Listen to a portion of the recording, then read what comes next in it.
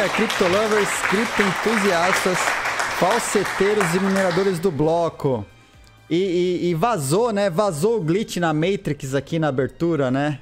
Vazou o glitch da Matrix da abertura, tô ligado, tô ligado. A gente vai, vai interagindo com a Matrix, assim acontece de vez em quando. Bom dia, galera, bem-vindos a mais um... bem-vindos a mais um Morning Crypto. Episódio número 140. 140 manhãs aqui. Olha lá. Já queria deixar um salve aqui pro Detassi. Valeu pelo follow, Detassi. Valeu pelo follow. A galera que chegou logo cedo aí, já pegou um café, já viu se juntando aí, né, no bloco, aí no chat. Balestro Guilherme, Rodrigo RCM, Thales Andrade, Edu Hirata, Welber BB, Alex Nozoi. Quem mais? Quem mais? Túlio. Bom dia. Reostermeyer. Bom dia, Reostermeyer. bom dia. Kleber, bom dia. Felício Rhodes. Bom dia, Felício. Chegou, hein? Chegou, hein? Finalmente, depois da saga. Fábio Oliva, bom dia. Bom dia. Já começa o dia sendo taxado. Faz graça, né? Já me merece. Tinha que ser ban. Bano, bano Fábio. Quem mais? Celo Sup, bom dia. Você André Julião, bom dia, bom dia, galera. Vão chegando aí, já pegando seu espacinho aí na, na arquibancada do chat, que temos bastante coisa nesse Morning Crypto. Estamos com atraso aí de um dia, né? Atraso de um dia. Atrás de um dia sim, né? Ontem, caramba. Conteúdo na lata para vocês aqui, não tem papas na língua, né? Com o André Mazo, lá da 1 a 1 sobre é, P2P, OTC, mercado cripto, como comprar e vender. Quais as detalhes aí que a galera não fica sabendo desse mercado, né? Coisas que você precisa se cuidar, como escolher o seu, o seu vendedor P2P predileto. Cara, foi muito legal. Foi muito legal. Esse Zero André não tem papas na língua. O cara é, aque... o cara é aquela, aquele cara, né? O cara é aquele cara. Gente boníssima, diga-se de passagem, né? E a ideia é trazer pe pessoas aqui com boa reputação que possam trazer um conteúdo bacana para vocês, né? Sem. Não tem. Bom, vocês já viram, aqui no Morning Crypto não tem bullshitagem. Se tem uma coisa que não tem aqui é bullshitagem, né? A gente não fica só passando pano. A gente passa pano só pro Bitcão, né? A gente passa pano pro Bitcoin. Mas, mas quando, quando, quando dá as escorregadas, a gente fala também, né? Mas passada de pano aqui só pro Bitcão. De resto, aí não tem passada de pano. Só pra Shiba. Olha lá, o cara tá pedindo pra ser taxado. O cara tá pedindo pra ser taxado. Não, mano. Não, não. Não faz isso. Não faz isso. Brincadeiras à parte aí. Ontem, o Pateta esqueceu de abrir as apostas, né? Vocês devem ter percebido. Que, ó lá, ó, ó, ó lá, Fábio Olive seguidores. Mas não é um só. Brincadeira. Os caras comeram palhacitos logo cedo? É de palhacitos que começa o dia? Eu tô de olho aí em vocês, né? Ó, galera, não deixem de participar e de já pegar os seus tickets aí pro sorteio 2.500 sats é, em comemoração ao episódio 140. Na verdade, era para ser um pouco mais, mas por algum motivo do além, a minha Zibid não tá logando. Cara, o wallet custodiada tem essas caca, né? E aí onde, onde eu tinha lá mais mais sats lá, da por causa dos do CS que eu fico jogando lá e coletando sats, foi pro espaço, não consigo logar, tá dando erro. Não sei por que raios, não consigo acessar meu Satoshi lá. E aí na outra wallet Lightning que eu que, na Blue Wallet eu tinha menos, então vai 2.500 hoje. Depois eu resolvo isso. Semana que vem, episódio comemorativo, a gente vai ter vai ter umas boiadas a mais no episódio comemorativo, né? Tem uma coisa interessante que eu quero compartilhar com vocês, já que não tem. Já que falhou, né? Hoje não vai ter é, Paga Marreco. Olha que legal. Eita, cadê? Se liga no que está disponível neste momento lá na galeria do bloco. Vai ter presente de Natal pro bloco. Cadê? Se liga nisso aqui, ó. Felício. É pra ti, meu amigo. É pra ti. Você só precisa me falar se a wallet que, que eu mando, o NFT, é a mesma wallet que você cadastrou pros outros lá ou você vai querendo uma wallet separada. Qualquer coisa me manda é, por sussurro ou pra Miriam a, a wallet pra gente poder mandar o NFT do Blocoverso Wear. Vocês viram que os nomes, até os nomes são modernos, né? Blocoverso Wear. Premium Pullover Hoodie. Cara, ficou da hora. Na boa, ficou da hora. Né? Então aqui, ó, NFT Wear para os usuários de acessórios do bloco, Encrypto We Trust. Legal, né? Ficou maneiro. Morning Crypto, Bloco Verso. Ficou maneiro. Cês, né, o acordo é, o acordo é para ganhar o NFT, recebeu, fez tweet, NFT, né? Temos um acordo, estamos acordados. Então tá lá, né? Quem quiser acessar aí, já tô pondo aqui, ó. Ué, cadê? Ah, esse aqui não tem o QR Code. Ué, é lá no, é lá na, no OpenSea barra collection barra bloco. É que eu tô no... Aqui no Firefox eu não, não tenho o plugin do, do QR Code para poder ir direto. Mas tá lá na galeria do bloco, tá? Já tá disponível lá. Ficou maneiríssimo. Então é, chegou, postou foto, marcou eu e a Miriam, leva o NFT. É um acordo, né? Tá lá então na galeria do bloco. E também, ah, esse aqui eu não comecei a distribuição ainda. Tá, aí faltou tempo. Eu tô numa treta com a, com a AWS que aparentemente os problemas do AWS não foram todos resolvidos e ele tá meio que comendo meus nós. Não sei por que raios. É, os tantos nós do Bitcoin nós da, da Decred e do, do Ethereum Classic, tudo, eles estão congelando. Ele está parando, na verdade, ele está travando a storage. O que está congelando não é a máquina em si, mas a storage da máquina. E aguardando o boné, pois olhe, veja, olhe só, Alex. Espera aí, espera aí que está aguardando o boné. loja.edios.com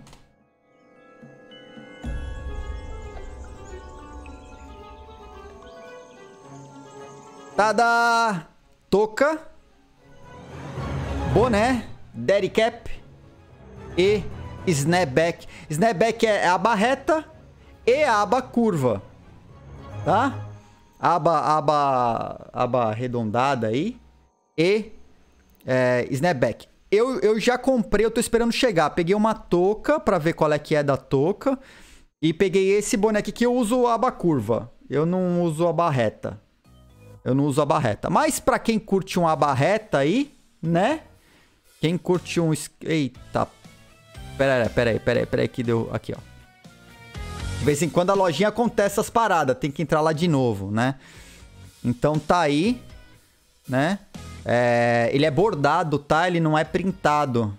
É bordado. É bordado. Não é printado. É bordado aí no boné. E então mandei fazer e tal, o bagulho, né, a, arte lá de bordar tal. E o reto, o abarreta. Então assim, então aí os dois modelos, o abarreta, ele tem, ele é de o feixe aqui de de plásticos e o abacurva, o feixe aqui é de é, é feixe. Eu não sei o nome de feixe. É de abarreta. Então, cara, até fiquei assim. Eu falei pra Miriam, eu falei, será que eu pego a abarreta? Ela falou, meu, acho que você não vai conseguir usar. Acho que você não vai conseguir usar, porque meus bonés são todos abacurva. Eu tenho um boné que eu uso em viagem. Aí, aí é viagem, viagens das vozes do meu metaverso. Aí é do meu metaverso. Quando eu tô em viagem, eu tenho um boné laranja. É que eu uso em toda Santa Viagem. Né? Eu uso em toda Santa Viagem. É do Dragon Ball. É um boné do Dragon Ball. E aí todo mundo me pergunta, caramba, mano, por que que tu usa um boné do Dragon Ball laranja toda Santa Viagem? Eu falo o seguinte. Ninguém, dificilmente você vai achar alguém que usa um boné laranja cintilante por aí. Então, se algo acontecer comigo, seja num Borders da vida, seja, cara, vai ser facinho me achar em câmera de vigilância, saca? Vai ser facinho. Aí, pra seguir esse maluco, ah, tá aí, ó. Procura, procura o cara de boné laranja cintilante. Então, se precisar qualquer coisa acontecer, você vai me achar porque você vai ver um, um, ser humaninho zanzando pra lá e pra cá com um boné aceso laranja. Então, para fins de segurança, né? ainda mais ano passado, ano retrasado, que eu viajei muito. Ano, ano passado, não. É, dois anos. Puta, já vai fazer dois anos, né? Eu tava viajando muito mais. Esse ano eu só fui para Portugal. Ano passado eu fui pra. Eu fui para Luxemburgo só, se eu pouco me engano. Não lembro, acho que ano passado só fui para Luxemburgo quando eu fui falar lá para a Comissão Europeia, fui apresentar o Original Mai lá na Comissão Europeia. Então foi, acho que foi Luxemburgo, mas eu tô sempre aí, eu uso boné laranja. Aí é, é coisas do meu metaverso, né? Se tiver em viagem pelo mundo e ver um boné Dragon Ball, sou eu. Um boné laranja com o símbolo do Dragon Ball, sou eu, né? Sou eu, certeza. Então, é isso. Aí eu tenho um, um outro boné um outro boné da hora que eu ganhei do Fábio, né? Ganhei do Fábio, boné da hora. Aí esse é o segundo boné que eu uso direto aí. É, saio para correr, vou fazer meus, meus exercises que eu não, não tô fazendo, né? Não tô mais fazendo, eu sou um ser, né? Sou um ser é, idoso, né? É, velho e acabado agora, então não estou saindo para correr. É um boné do Watch Dogs. Da hora o boné do Watch Dogs. E, e só uma pessoa até hoje aqui na Estônia olhou pro boné e falou: Mano, esse boné do Watch Dogs, onde você arranjou? Me dá o boné. Eu falei: Não, não dou o boné, mano. Você tá maluco?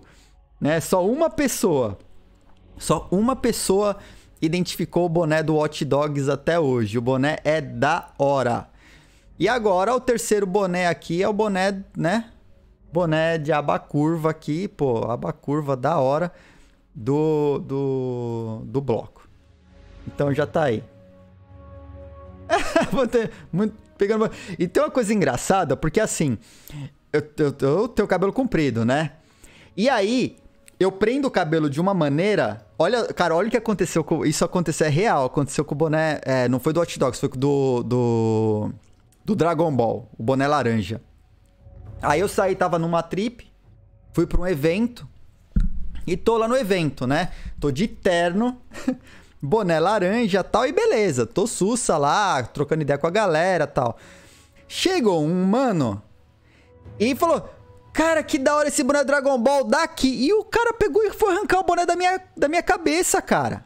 E se tem uma coisa que quem usa boné sabe, que te deixa pá, é chegar um maluco tirando teu boné, mano. Tem, é, tem uma parada aí que você sabe que né, ultrapassa os limites aí né? Ultrapassa os limites.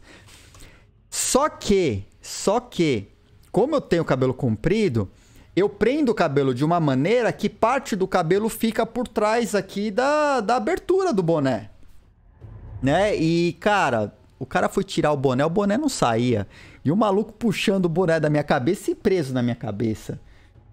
Cara, foi só aquele olhar fulminante, o cara se ligou, tipo, mano, que, que que você tá fazendo? Tá maluco? Né?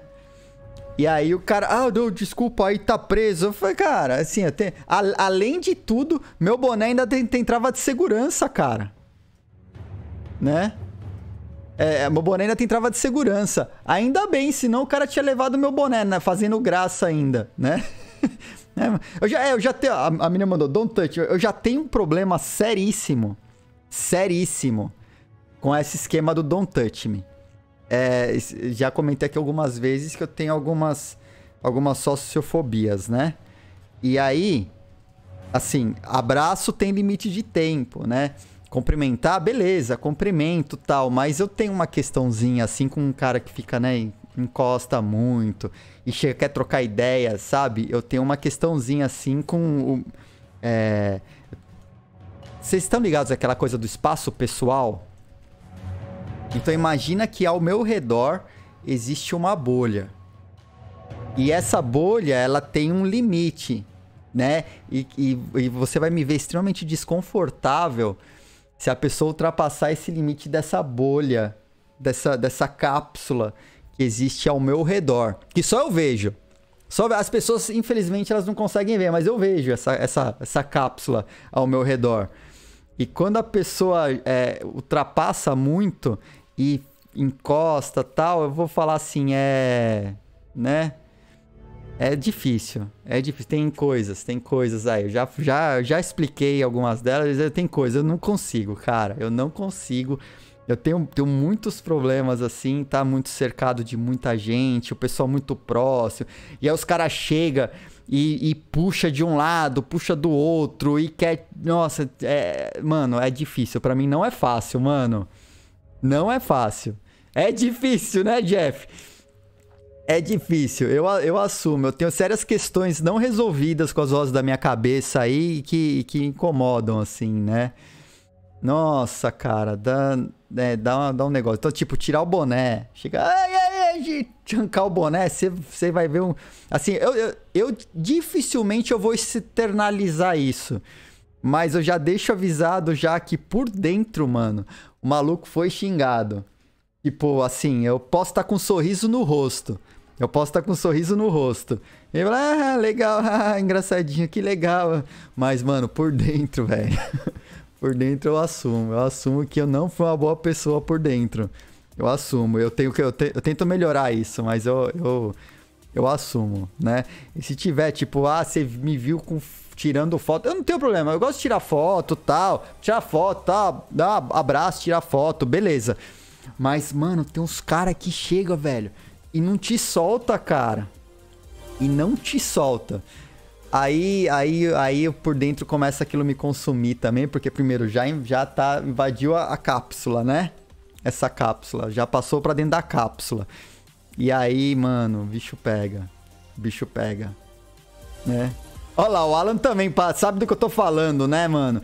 O cara, o cara chega na conversa pegando, dá a raiva, velho. Dá a raiva, mano. Não precisa, cara. Não precisa, assim, né? Eu vivo, vivo aqui na minha. Na, dentro da minha bolha aqui, né?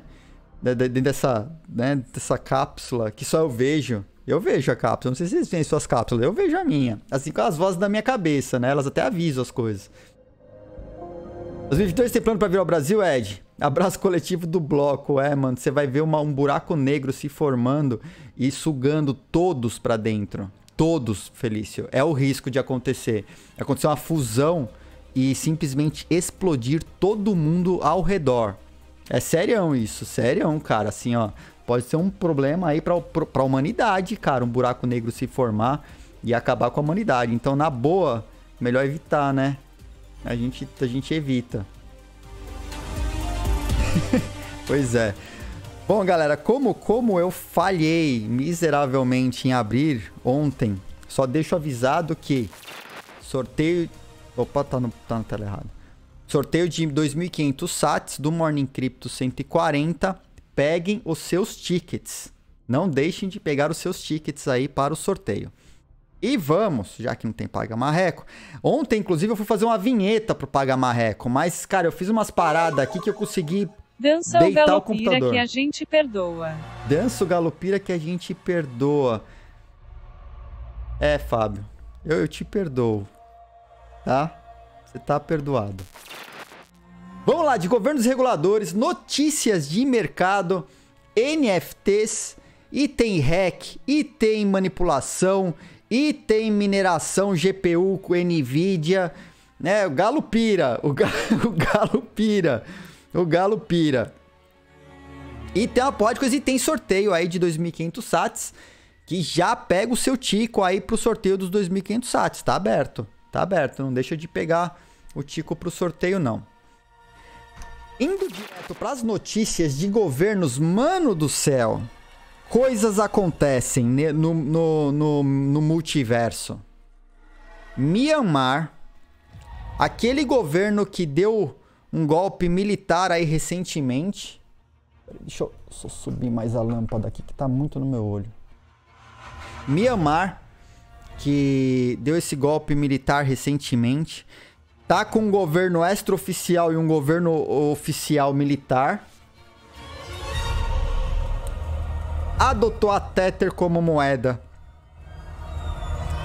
Adotou a Tether como legal tender. Pois é. Tem coisas que a natureza não, que a ciência não explica.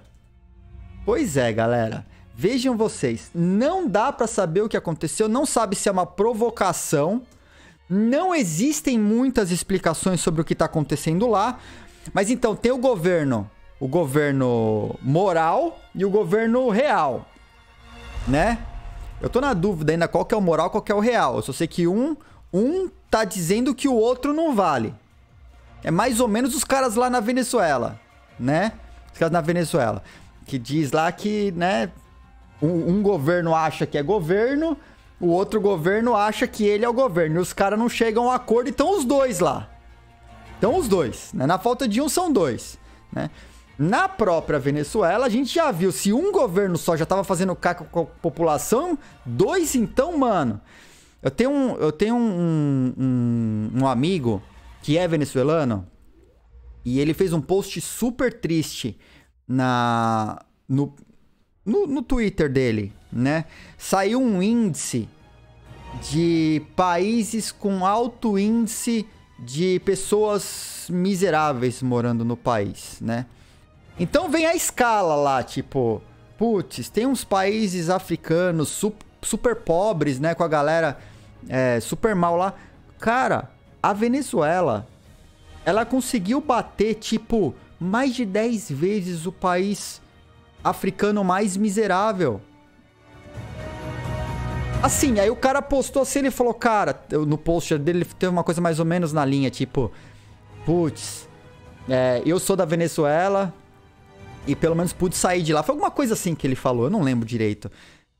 Meu amigo, é bizarro. É, ou ele postou assim, tipo, é, a prova de que o socialismo é capaz de. É, não é capaz de tirar as pessoas da, da né, de serem miseráveis. Alguma coisa assim que ele botou. Tipo, a prova de um país socialista fazendo o que eles fazem de melhor.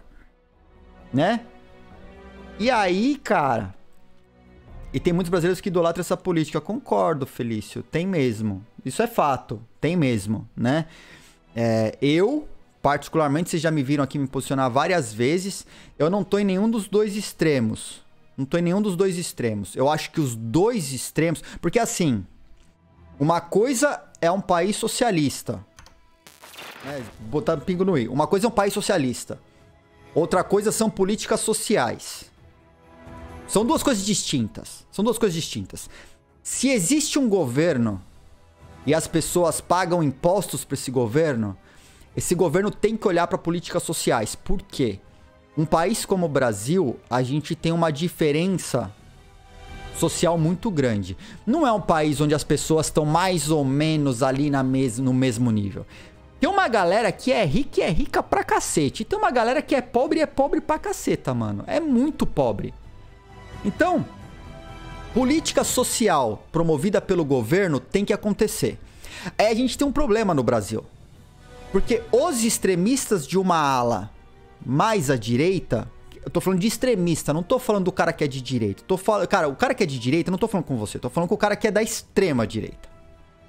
Esse cara da extrema direita, ele abomina política social, dizendo, fazendo uma confusão, porque esses caras vivem num metaverso paralelo, numa realidade paralela, como se política social transformasse o país em um país socialista. O que não é verdade. O que não é verdade. E a galera da extrema esquerda, galera da, da, da extrema esquerda, acha que alguns tipos de políticas sociais que são feitas são direitistas e que estão beneficiando só o, os empresários. Porque ser empresário, ter um negócio, é ruim. E aí, é outro problema que a gente encara. E o Brasil polarizado tá nessa caca que tá, porque essa, esses dois extremos só se reconhecem como verdade. Sendo que existem, cara, muitos tons, muitas cores, muitos tons de cinza, muitos muitas tonalidades, muitas nuances nesse meio entre os dois extremos. E o problema que a gente tem nesse momento é essa polarização absurda, principalmente promovida por redes sociais, onde muitos deles aprenderam a usar as redes sociais para embolhar ainda mais as pessoas nos seus cercadinhos, ficam fazendo com que só pode existir um ou outro. Não é ou preto ou branco. Não é, cara. Tem uma porrada de tons aí no meio, né? O Brasil precisa de políticas sociais. Política social não é coisa de governo socialista. Não é coisa de governo socialista. Política social ela tem que ser promovida pelo governo independente da vertente a que o governo segue. O que você não pode é ter essa briga dos dois lados e quando o governo tenta aplicar qualquer política social, ou é porque é, é fascista ou é porque é comunista. Ah, é, vai pro inferno, né? Porra, mano. Aí, aí, aí. Caceta, né? Mas. Beleza. Deixando isso de lado, que não é o nosso foco hoje, né? Vamos falar de Tether. Vamos falar de Tether. Então, Myanmar adota Tether como moeda de curso legal, o que é um baita de um problema, o que é um baita de um problema, porque a Tether a gente já acompanhou aqui no Morning Crypto, inclusive a Tether sendo é, sentenciada a pagar milhões, que do bolso deles esses milhões é peanuts, né? Eu acho que foi pequena a, a, a multa que eles pagaram. Mas a Tether, ela banca, ela, apo ela uh, apoia no sentido de dar suporte a muito do mercado cripto. E para nossa infelicidade, para nossa infelicidade, o fato da Tether não ter em banco e eles mesmos já declararem e serem penalizados por isso, que eles não têm em banco o dinheiro para converter, caso as pessoas queiram sacar, eles têm aí papéis comerciais obscuros que você não sabe quem, da onde são, quais empresas são e que o mercado acredita que são papéis, muitos deles são papéis comerciais apoiados em empresas chinesas, que muitas delas podem estar apoiadas numa Evergrande da vida, o que significa que a Tether talvez seja insolvente. E se a Tether é insolvente, como fica essa impressão de téteres indiscriminada sendo feita? Eu mostrei aqui recentemente, mais um bilhão aí semana passada, né? Então, a gente pode ter um problema seríssimo aí, inclusive de valores, né? De preço, não de valor, de preço do Bitcoin, do, do das próprias moedas baseadas em Ethereum, né? Pode dar uma caca generalizada se esse castelo de cartas vier a ruir. Por isso que eu sempre falo pra galera: fiquem espertos. Sejam rápidos. Eu trago notícias sobre a Tether constantemente, todos os dias. Achei uma coisa, respirou, alguma coisa nova começou a aparecer no mercado, eu trago para vocês. Então, fiquem espertos. Pode ser que não. Pode ser que não aconteça nada, que os papéis comerciais que a Tether é fundeada, que ela usa para lastrear esses bilhões em Tether que ela emite, de repente são papéis comerciais super saudáveis, né? Mas como ninguém sabe de onde são esses papéis comerciais, de quais empresas, a coisa é estranha. A coisa fica meio esquisita, né? Então não são mais nenhum relatório de auditoria moral da Tether, não. O último relatório da Tether é aquele que a gente analisou aqui e que uma porcentagem minúscula, minúscula, era em dólares americanos em banco.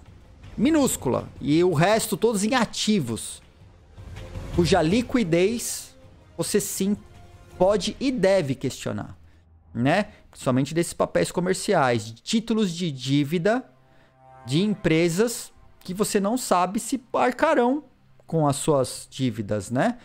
É, como eu já falei aqui, a Tether, muito se especulava se a Tether estava tava ancorada diretamente na Evergrande. Eles vieram a público dizer que não. mas não mostraram quais são os papéis, quais são as empresas. Por isso que a nova especulação é que as empresas, os títulos de dívida usados como garantia da emissão dos Tethers sejam empresas chinesas que têm exposição na Evergrande. A Evergrande semana passada defaultou. Não só ela, né? Essa semana aqui a, a coisa segue. Como que fica com a, a, a Evergrande não pagando as dívidas, as empresas não pagando as dívidas, e isso pode chegar na Tether? Vamos descobrir. Tá muito perto, assim, com a Evergrande defaultando, tá muito perto da gente descobrir o tamanho da treta. Né? Não, o Jeff falando, né? Relatório da Tether era mais feio que os meus trabalhos da quinta série. Pois é. E os meus trabalhos de quinta série ainda eram feitos à mão, em papel ao maço, e você tinha que fazer à mão, né? E a professora não gostava quando você usava é, liquid paper ainda para corrigir as coisas erradas. Ah, pois é. Ó, o André Julião falou: depois do subprime, as auditorias das agências de rating valem zero em credibilidade. Pois é, André. Concordo contigo. Ah, você olha o rating da que essas empresas, né? Essas auditorias dão. Como que você confia? Não confia. Se, se o cara dá o rating deles lá. E o rating é manipulado para manter o mercado aquecido, né? Pois é. É, é. é, vocês estão falando do Fábio, né? Nem me lembro, já faz 84 anos, deve ser o Fábio. Deve ser alguma coisa do Fábio aí. Que é mais ou menos quando o Fábio tava entrando na faculdade. Eu acho. A primeira, a primeira, a terceira faculdade, uns 84 anos atrás. Eu acho que é nessa linha aí. Né? Bom, então ó, fiquem espertos, tá? É... Governos estranhos se baseando em Tether, aumentando a demanda de Tether no mercado, sendo que a Tether mesmo a gente tem muitas questões em relação a Tether. Fiquem, né, vamos, vamos acompanhar. Wells Fargo. Wells Fargo faz uma, faz uma parceria com a HSBC para começar a, a fazer os pagamentos, né, transações de pagamento em blockchain. Caramba, então significa que você vai poder acompanhar. Não. Obviamente que não. A OHSBC desenvolveu uma plataforma de blockchain deles que eles chamam de FX Forex Everywhere. É uma plataforma só deles, que só eles vêm, que eles liberam acesso só para quem eles querem, que diz que é blockchain. Eu duvido. Essa plataforma, ou. E também não tem informações internas sobre a plataforma. Ela vai ser ou baseada em R3 Corda, ou vai ser baseada em Hyperledger, né? Mas. Putz, cara, os caras adoram. Banco adora falar que tá fazendo coisa em blockchain. Fazendo mesmo, eles nunca estão. Eu não acredito que a plataforma seja, por exemplo, baseada num quórum da Consensus, da, que é baseada em Ethereum, que tem uma camada privada e uma camada pública. Né? Então, tudo o que acontece, você, você consegue pelo menos ver acontecendo. E essas transações, elas são. O, o settlement das transações é feito no blockchain público.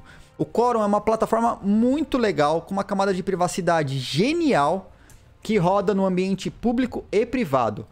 Super funciona. Mas também não acredito que seja. Não acredito que seja. Porque os bancos não gostam quando você fala que tem algum blockchain e que tem alguma coisa conectada no ambiente público. Mas tá aí, vocês provavelmente verão muitas notícias, né? É, que nem aqui falando, ah, a plataforma é, habilitará os participantes para fazer, né, para estabelecer essas obrigações cross-border em múltiplas onshore, em moedas, né, onshore e offshore, moedas é, estrangeiras ou moedas locais.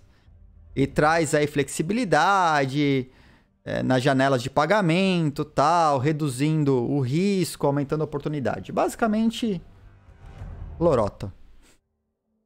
É, fazer o quê, né? Que vai, vai. Pode ajudar? Pode. Que usa um protocolo baseado em blockchain? Pode até usar, mas. Difícil que seja blockchain mesmo, viu? Eu acho, acho difícil acreditar. Brasil! Vamos dar um rolê pro Brasil agora, né? B3 diz que vai entrar no mercado cripto em 2022. B3, essa mesma que você está pensando, né? Isso é uma reportagem aí da Infomoney dizendo que a B3 detalhou planos aí para custódia de criptomoedas, tokenização e ETF cripto em 2022 né, é, o presidente né, falou lá: é natural que façamos a expansão para o mundo não regulado das criptos. Então os caras vêm dizer aí que eles têm cinco pontos aí da apresentação dele: tokenização de ativos. Então tá aí o QR Code para quem quiser acompanhar. Ficou fora, né? O QR Code tá fora da tela. Vamos ver se entra agora. Beleza, rolou. Pera aí, só acertar a tela aqui que eu quero ela bonitinha aqui enquadrada não tiver enquadrada, não. Então vamos lá. Nos planos deles, deixa eu tirar isso aqui. Tokenização de ativos. Negociação e acesso a centros de liquidez. Custódia de ativos digitais. Facilitação de balcão. Ganhos de eficiência de capital. E Crypto as a Service. Facilitar para clientes a exploração do mercado cripto com baixo atrito esperem uma exchange. O que, que a gente pode falar? É uma exchange própria dos caras? Muito possivelmente, né? Muito possivelmente. É, ô, Andrew, tô sentindo falta dos traders iniciantes mega alavancados. É, podem ter certeza que a B3 lançando, a CVM vai utilizar eles como padrão e vai utilizar como régua para medir qualquer outro novo entrante no mercado. Então preparem-se exchanges. Hum, há uma chance muito grande de vocês passarem a ter muita dor de cabeça com os reguladores a partir do momento em que a B3 resolve entrar nesse mercado. Estão ferrados, não estão? Eu acho que vai ser. Cara, isso vai fechar o mercado brasileiro para inovação. Ah, mas é só pro. É para é pra investidor qualificado, investidor experiente aí, ah, meu amigo. Eu acho que teremos uma dor de cabeça generalizada no mercado cripto a partir do ano que vem. Por mais que a, a, o interesse deles seja legítimo né? Aí o Andy falou, sendo sincero, eu queria mesmo que a B3 melhorasse a estrutura antes de entrar no mercado cripto, mas o cara só pensa em dinheiro. Concordo, né? Ó o André, B3 tem um, um conflito giga. O board todo é formado por diretores de bancos. Eles estão agindo em interesse próprio. Para mim isso é muito claro. Interesse próprio, né? Então vamos aguardar Vamos aguardar, porque virão mais notícias. Porque tem outra também. Tem outra, tá? Em 2016, antes da fusão da CETIP com a Bovespa, eu tava com um projeto lá com a CETIP. Eu escopei seis projetos completos com a CETIP. Aí veio a fusão. E no que veio a fusão, meu projeto foi deu água, né? Tinha seis projetos em tokenização, custódia, tudo isso. Então os caras, eles têm o projeto completo de como funciona, com estudo, paraná, desde 2016.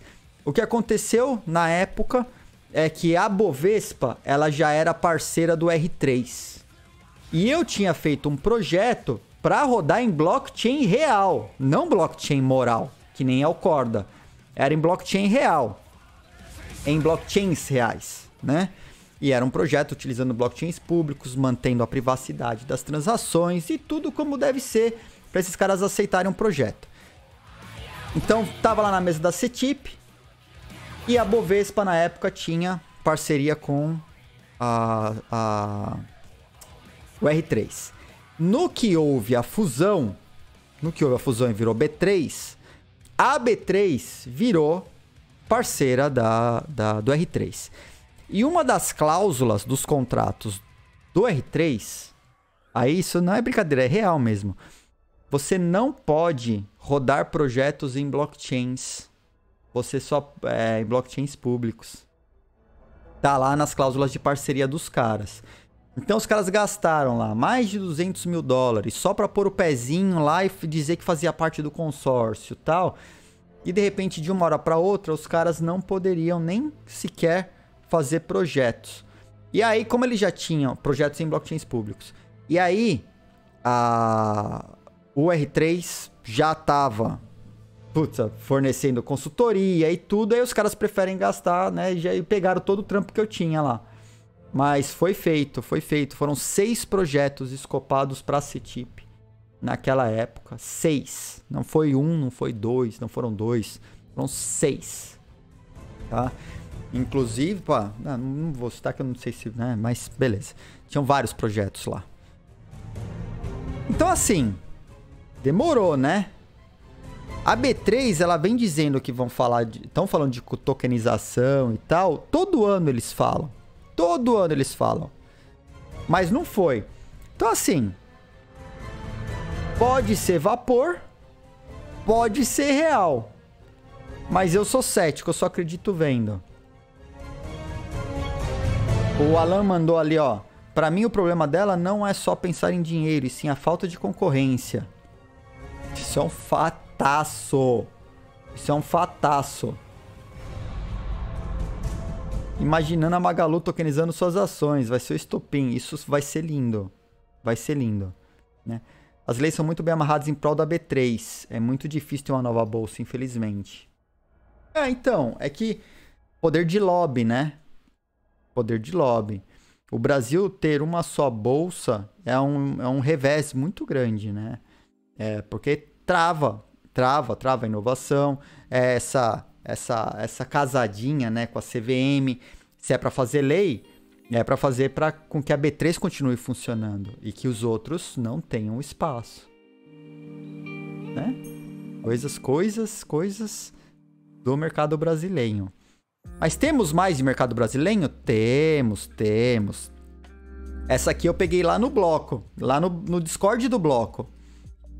Banco do Brasil inaugura operações do metaverso. Eu não lembro quem foi que postou, porque quando postou eu cliquei lá e já pus no no no, no bookmark, porque eu faço bookmark de todas as pautas. Né? Eu tenho desde o primeiro Morning Crypto, eu tenho todos os, todas as pautas, eu tenho todos os links, eu tenho bookmark de todos os links que eu abro.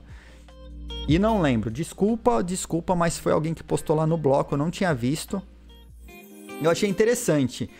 O Banco do Brasil, que já presta um péssimo serviço de atendimento ao cliente, vai prestar também esse péssimo serviço dentro de um metaverso que eles estão criando, só deles.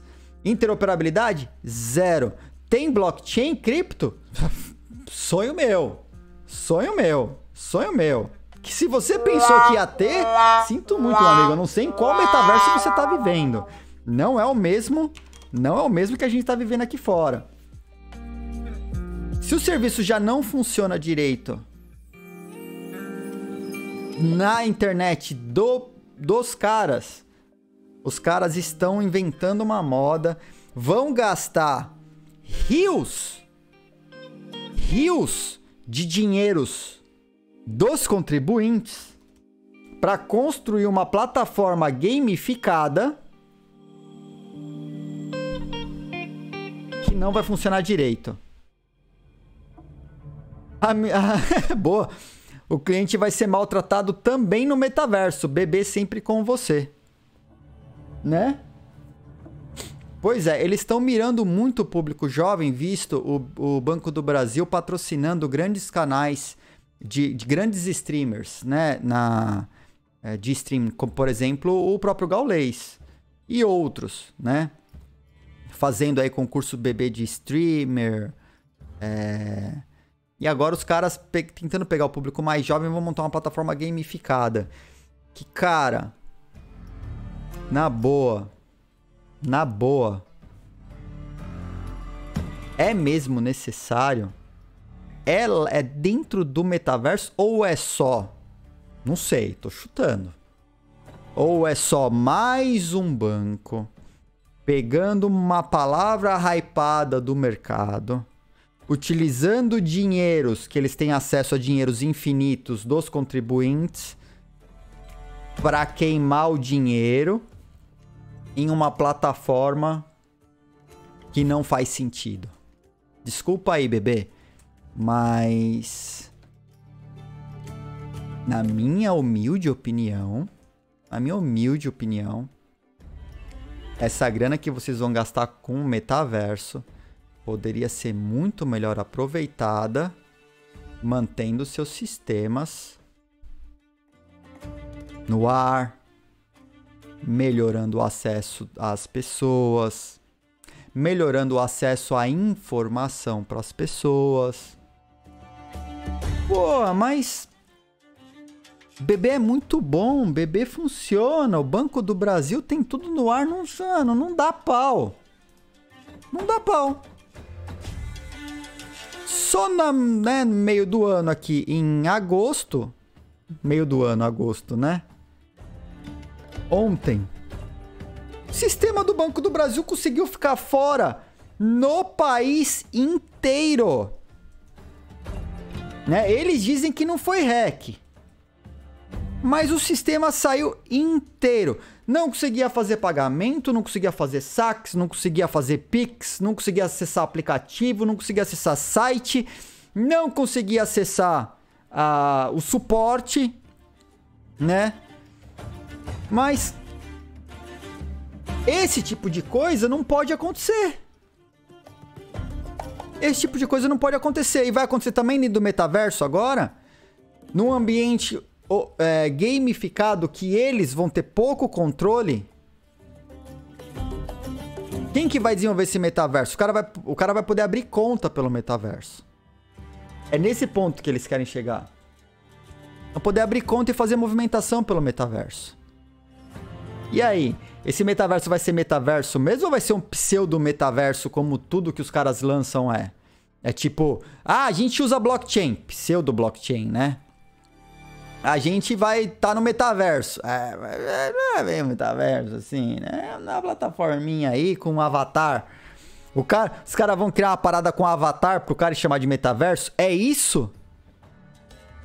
Ou vai ser uma plataforma gamificada, como a gente viu aquela plataforma é, totalmente em realidade é, virtual, num ambiente virtual, para você fazer stake de criptomoedas em DeFi.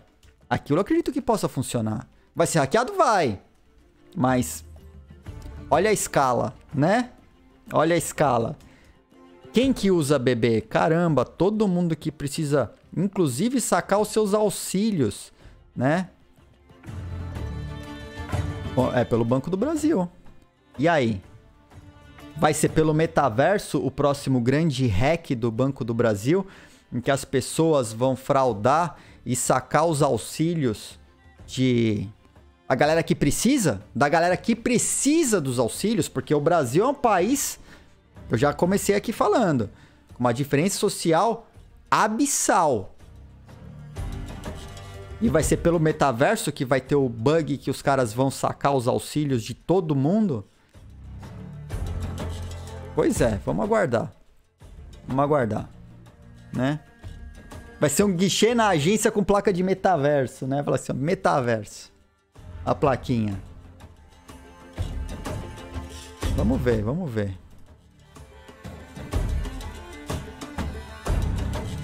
Legal vai ser ficar na fila do metaverso. É, a Miriam colocou, a Miriam mandou aí, verdade.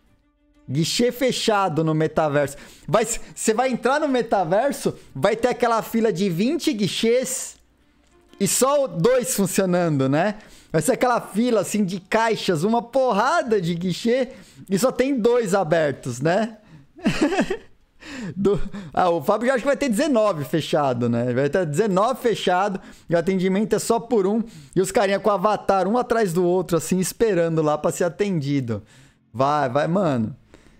Se chegar nesse nível, se o metaverso chegar nesse nível, vai ser muito legal. Ficar em fila, né? O brasileiro vai lá, melhor ainda, tinha que ser fila que você pode deixar o chinelo, pelo menos, né? Você vai e senta seu avatar e deixa o chinelo na fila. Né, onde principalmente é, pô, cartório, banco com ar-condicionado moral que não funciona, a galera fica lá passando passando calor, né? Bahia, lá no Nordeste, a galera faz muito disso. Leva uma cadeira de praia e senta, né, no metaverso, na fila do metaverso. Vamos ver. Vamos ver.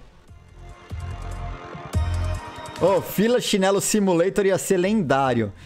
Se eu fosse montar um metaverso, cara, se é pra, se é pra, pra metaverso pra simular a realidade, um simulador de realidade, ah, tinha que ter, cara. Tinha que ter. Ô, chinelo simulator, cara, na fila. Mano, na boa, quem fizer isso vai se dar bem, cara. Ô, Renato, veja pelo lado bom. Você vai poder ficar 8 horas na fila usando o avatar do Naruto. né? Pois é. Chinela Simulator, cara. Chinela Simulator. Aprovadíssima ideia, Jeff. Aprovadíssima ideia. Ó, essa aqui é legal, hein?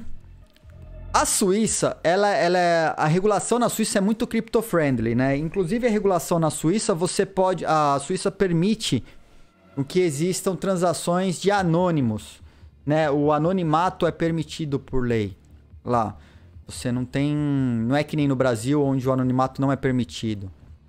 E o Seba é uma, um banco fintech que está sob a regulação suíça os caras estão lançando um produto de ouro tokenizado. Não que não exista, já existe, já existiram outras iniciativas de ouro tokenizado com auditoria e tal, protocolo de auditoria, tal. Mas cara, dessa vez é um banco real, não um banco moral, é um banco real com uma iniciativa de, de ouro tokenizado que você vai poder trocar esse token do ouro pelo ouro real né? Nossa, Fábio, foi horrível essa. Eu não vou nem reproduzir. Eu só vou mandar um. Porque mereceu, cara. Ficou horrível a tua piada. Desculpa. Nossa, mano. Mas então, isso é legal, essa iniciativa aqui. Né? Os caras têm um mercado, os caras têm um market cap aí de 11 trilhões, né? Falando em, em ouro. E você poder, poderá ter a sua versão de ouro aqui como token. E ó, ele diz aqui que esse, esse token vai poder ser trocado diretamente nas refinarias on demand, cara. Oh, isso é legal, cara, esse negócio. Isso é muito legal. Né?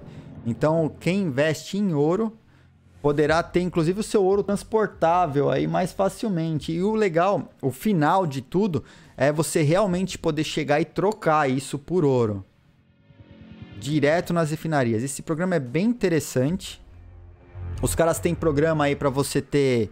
É, fazer uma renda em cripto, né? Ter renda passiva em cripto tal, no país. Então os caras têm bastante projetos. Fiquem de olho nos projetos que o Seba é, se envolve. Né? Esse banco realmente os caras têm feito bastante coisa aqui. Que não é Europa, né? Não é Europa. É Suíça. Vocês sabem que a Suíça não faz parte é, da, da, da União Europeia. Mas tem muita, muito produto acessível lá dos caras. É um banco extremamente é, crypto-friendly. Na Suíça em geral, assim como o Falcon Bank também é extremamente crypto-friendly. Vale a pena ficar de olho nos produtos que esses caras estão lançando, porque é, dificilmente vai dar ruim nesse tipo de produto. Então, tá aí o QR Code aí para vocês é, pegarem o, o link aí né? Bem legal. Aí dê uma olhada no Seba mesmo, os caras têm feito bastante coisa interessante. E aí voltamos então para a saga da Elizabeth Warren, a matrona, a memetrona aqui do nosso do nosso programa do Morning Crypto, aqui do nosso canal, né? A memetrona mandou essa que o DeFi é a parte mais perigosa do universo cripto. Pô, Memetrona, ajuda a gente a ajudar, né? Não é, não é assim que a coisa funciona, filha. É, por favor, por favor. O que acontece? Tá rolando lá nos Estados Unidos audiência pública. E aí foram falar de DeFi lá, né? E a o, o, comitê dos bancos lá, do o com, comitê. Como que ele coloca? É, é, comitê de banking do Senado tá discutindo stablecoins especificamente. E aí veio uma professora da Universidade de Washington, né, de direito, para falar sobre os, o DeFi e tal. E aí a Elizabeth Warren, a memetrona, matrona, mandou para ela, falou: ah, "Qual o risco que os DeFi trazem é, para o sistema financeiro americano? Aí ela falou, pouco. Pouco, não tem. É, não, não, tem, não tem consequência sistêmica para o mercado tradicional. Isso não acontece. Ela mandou, mas e se eles sacarem em massa as stablecoins? Mesmo assim, não tem risco sistêmico, né? Não tem risco sistêmico. E aí a, a Warren falou, é, mas se, se eles tentarem sacar, vender todas as stablecoins no mercado de DeFi, pode, que não é regulado, pode dar um problema seríssimo no DeFi, fazer sangrar, e vai ter um problema de estabilidade da moeda no momento em que as pessoas mais procuram estabilidade da moeda. Meu, mercado de DeFi é desse tamanho, perto do mercado tradicional. Pode trazer estabilidade para o mercado de DeFi? Pode. Qual a conexão do mercado de DeFi, do ecossistema de DeFi com o mercado tradicional? Quase zero. Né? Mas, é, ó, tô comandando, mas ela tá certa. DeFi ajuda a mostrar o lado podre do Estado. Sem dúvida. Sem dúvida. Talvez seja por isso que ela quer combater o DeFi. Então, né? Porque no futuro, as pessoas usando o DeFi não vão querer utilizar o, o, o, sistema, o sistema financeiro tradicional. Por que, que você vai utilizar o sistema é, tradicional? Aí ela veio com a história. Porque no DeFi, é, as pessoas é, fazem negócios, fazem trade com a galera, com terrorista. Ela mandou essa, ela mandou, tá aqui, ó. É, onde não tem a regulação tal é onde os scammers e os cheatadores e paranã é, mixam, né, os investidores part-time, os, os, investidores é, que não são investidores profissionais, com os, os, trading de primeira viagem, os traders de primeira viagem, né? E no DeFi você não sabe se você está lidando com terrorista. É sempre esse mote, né? É sempre esse mote. Mesmo, mesmo relatórios mostrando que menos de 1%, relatórios oficiais aí do, do feitos por grandes instituições como a Coinalysis e outras, dizendo, mostrando que menos de 1% das transações feitas com criptomoedas são é, utilizadas, são é, provenientes de crime. Mas é esse que é o problema. É lá que tá o problema. Né? Ele fica tentando arranjar desculpa. É dose, né? Mas tá lá, e não foi só ela não, tá? Teve esse outro cara aqui, o Sherrod Brown, esse outro outro senador aqui, também né, dizendo que DeFi, que as stablecoins são um problema tal, mas aí ele já endereça aqui diretamente a Tether. E aí a gente sabe que a Tether é um problema a Tether é um problema para o mercado como um todo. A Tether é o problema. A Tether é o problema. Ah, o Bitcoin está caindo, precisa subir o preço do Bitcoin? Printa Tether e compra Bitcoin que sobe. É, é bilhãozinho, para eles é só um número lá. Né? É só um número lá. Ó, tem um, tem um bacana aí. a, a Miriam vai, vai dar, né? É até ban, né? É ban, é ban, é ban. Vem fazer, né? Bot fazer, fazer, né? É ban. Tá banido.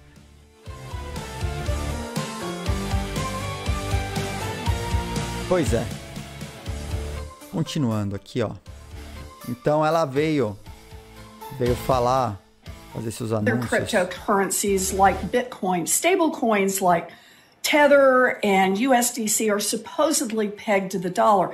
And the reason for this is to reassure people that stablecoins are as stable as using the dollars you have in your wallet or in your checking account. A stablecoin dollar, in other words, will supposedly be worth a real dollar.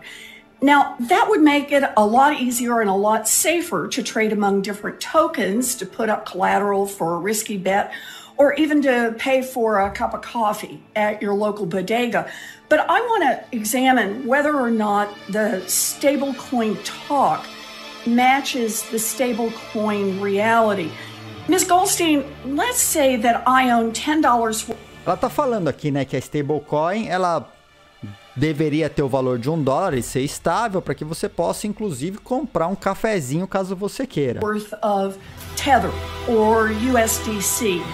If I want to trade my $10 worth of these tokens, am I guaranteed to get $10 back? Uh, no, Senator. You're sort of dependent on the exchange where you're trading it. Because as... E aí ela perguntou, se eu quiser é, pegar os meus Tether e trocar em dólar, eu existe garantia de que eu posso pegar de volta? E aí a professora mandou. E não, Você precisa ir numa exchange, fazer As a US coisa. retail customer, I cannot go to Circle and say, please redeem my USDC. And Tether explicitly says no US customer can redeem Tether. So I have to trade it on an exchange. Sometimes it fluctuates. Sometimes it's a little above the dollar. Sometimes it's a little below. But if there were a run, the peg could collapse. Um, and we also don't really know necessarily what's backing all of these stablecoins, right? Tether is. Hold on a sec. I want to get into that, okay? I, I promise. Bom, ela tá, tá caçando, né? Ela tá caçando. Ela perguntou a, a, essa moça aí falou que não, você não tem garantia. Às vezes o valor do Tether tá um pouco acima, às vezes o valor do Tether tá um pouco abaixo. E é real, existe uma flutuação, ela não é exatamente um para um. Às vezes tá um pouco acima, às vezes tá um pouco para baixo. E que você depende de ir numa exchange e tal. E quando ela foi continuar, então tem esse trecho. Eu vou deixar o link para vocês aqui, quem quiser ver a, o bate-papo da Memetrona aqui, né? E ela fez o corte só do pedaço que interessa, é óbvio, né? Fez o corte do pedaço que interessa, porque é assim que fazem cortes. O pessoal só pega um, né, um corte é um recorte. É um recorte de um pedacinho lá. Né? Então, é, é difícil. Difícil. Mas tá aí. Bom, vamos falar de coisas interessantes do mercado? Já entrando aqui, saindo um pouquinho de governo, as coisas da Memetrona e tal. A Memetrona, a gente ainda vai ter um, um NFT da Memetrona. Eu acho que é, vai ser necessário um NFT da Memetrona. Ela pede. Memetrona tá, tu tá. É o rap da Memetrona tá, tu desinformada tu. Perfeito, Elmer. Perfeito. Perfeito. Até o rap, rap da Memetrona. Vamos achar, vamos dar um jeito de transformar esse rap da Memetrona, trazer ele à realidade, rap da Memetrona. Ai, meu Deus, né? Mas CoinMarketCap que ontem matou grande parte dos criptonautas do coração, né?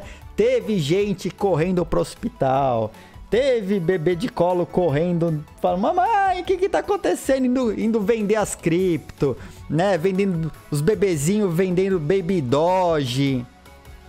E aconteceu ontem a maior papagaiada, maior papagaiada com a CoinMarketCap. E as pessoas estão na dúvida ainda se CoinMarketCap foi hackeado, se foi interno, se não foi. Porque as pessoas ficaram trilhardárias ontem. Trilhardárias. Se você tem Bitcoin e você usa um app para acompanhar os valores do seu Bitcoin, meu amigo, você ficou milionário. gente que tem aqueles gadgets no relógio para mostrar, ficaram todos milionários. Todo mundo ficou ziliardário. Uma coisa simplesmente maravilhosa que aconteceu, né? Eu só, peraí, eu tenho, só tô checando aqui um horário de um compromisso que eu tenho, só... É, três e meia, beleza. Então tenho tempo ainda. Eu tenho uma reunião com o pessoal da Chain Analysis é, mais tarde, para um projeto. Então, é, CoinMarketCap ontem teve um problema e começou a apresentar números, mandar números absurdos. O que? O que? É um problema principalmente para os oráculos, né? Imagina se a plataforma utiliza a, utilizava a CoinMarketCap como fonte de valores confiável para fazer qualquer business aí. Ah, eu acho que números absurdos, Túlio. Porque olha só, o Bitcoin até pode ser um número do futuro. Mas do Ethereum, do XRP, eu me recuso a acreditar. Eu me recuso a acreditar. Né? E aí, com esses números gigantescos, é o que o Guilherme Gel mandou no chat. Teve mané que vendeu. Houve uma corrida às exchanges e a galera tentando realizar suas vendas. Imaginam os mercados que utilizam esses stickers para alimentar os seus bots. Imagina Chainlink usando se usasse, né? Não usou. Não, não tem histórico de ter dado treta com, com os valores que a Chainlink fornece. E com os bots dos DeFi que utilizam esses valores para fazer, para fazer o trade automatizado. Né? Mas, meu amigo... Olha lá, o Bitcoin saiu por 789 bilhões uma unidade, né, Welber? Pois é. Cara, que caos que foi ontem. Que caos. Tudo que é wallet, tudo que é aplicativo, tudo que é site que utilizava os tickers de valores do CoinMarketCap porque é confiável. Ed, será que você não consegue alguém da TNLs para um bate-papo aqui no Morning Crypto? Não sei, Tuco. Posso tentar. Pode ser interessante. Posso tentar. Pode ser legal falar o que os caras fazem, né? O que, que apresentam tal. Pode ser interessante. Shiba chegou a um dólar. Eu não sei quanto chegou Shiba. Não, agora já tá normalizado tudo. Tem Shiba, aqui eu não tenho. Mas, putz, podia ter, né? Por que estão tentando saber de Shiba? Os caras os cara, os cara que estão comprados em Shiba, os chibeteiros aí do canal estão, né? Estão que estão. Tô, tô de olho em vocês. Né? olha quem surge. Olha quem surge. É só pra faltar com respeito. Eu não sei onde tá minha moral. Não tem. Minha moral já foi pro, pro chão. Eu tenho que cavar o chão pra achar minha moral de volta. Com essa. Né? Eita, Lele. Tá, tá, vai ser todo mundo taxado. Eu vou taxar todo mundo. Oi? É, né? Boa. Eu vou mandar esse print. Quando eu mandar a pergunta, eu vou mandar só esse print assim, ó. Né? Vou mandar o print e falar, então. Agora que é, né? Agora que ajuda, né? Tô de olho, ó. Tô de olho. Tô de olho. Viu, Kim? Ó. Tem, uma mão lava a outra, tá? Uma mão lava a outra. E como que eu posso dizer assim de uma forma mais amigável? Eu sou vingativo pra cacete. Guarda essa, tá? eu guardo, eu guardo mágoa no coração. Como... meu, meu coraçãozinho, ele guarda a mágoa. Ele não esquece, porque eu tenho um problema sério. A minha memória, ela, ela para coisas boas assim, ela deixa passar, mas tem coisas que ela guarda, ela guarda para toda eternidade. Pra toda eternidade, coisas de séculos, coisas de séculos, séculos, séculos, né? Eu lembro quando o dinossauro lá pegou a maçãzinha que eu queria pegar, ele pegou e comeu uma maçã, tá guardado. Tá guardado. Por que você acha que os dinossauros não existem mais hoje? Você acha? Você acha que a gente deixa quieto? Não. Ninguém mandou comer minha maçã. Ninguém mandou comer minha maçã. Tá? Aí você vai vendo, né? A vingança nunca é plena, mata a alma e envenena. Pois é, pois é. Então foi isso ontem com a Market Cap, deu uma patetada gigante, não se sabe se foi hack ou não, mas isso traz uma questão muito séria aí sobre os oráculos, tá? Por exemplo, imagina um mapeamento, imagina você um mapeamento dos oráculos que são usados pela Chainlink para fornecer o, o valor do Bitcoin, ou do Ether, ou de qualquer outra cripto. E de repente existe um ataque orquestrado a esses oráculos tá? Porque um bot, um bot de DeFi, ele precisa pegar os valores de algum lugar. E a Chainlink está sendo muito utilizada. Então, um ataque organizado, orquestrado. A, a minha, o, o meu CoinMarketCap que eu estava acessando aqui estava ok para mim. Ó, ah, agora saiu, pô. Eu carreguei a live toda, tava tudo certo. Saiu de novo do ar, então. Saiu mesmo, Thales, ó. Mas eu tava com ele carregado aqui, inclusive com, com valores, ó, a Vulcan, que eu ia fa vou falar daqui a pouco, tal, 22 dólares lá. Tava tudo certo, agora saiu, ó. Nossa, é verdade, ainda bem que não abriu a aposta ontem, né? É, pois é. Não, não que eu tivesse sabendo de alguma coisa, tá? Não que eu tivesse sabendo de alguma coisa. Mas tão palhaçada, né? Palhaçadinhas. E por falar em coisas que saíram do ar, vamos falar de Solana, que de novo, de novo, saiu do ar. De novo, mais um token sendo listado numa exchange Solaner. Mais um token sendo listado em exchange Solaner.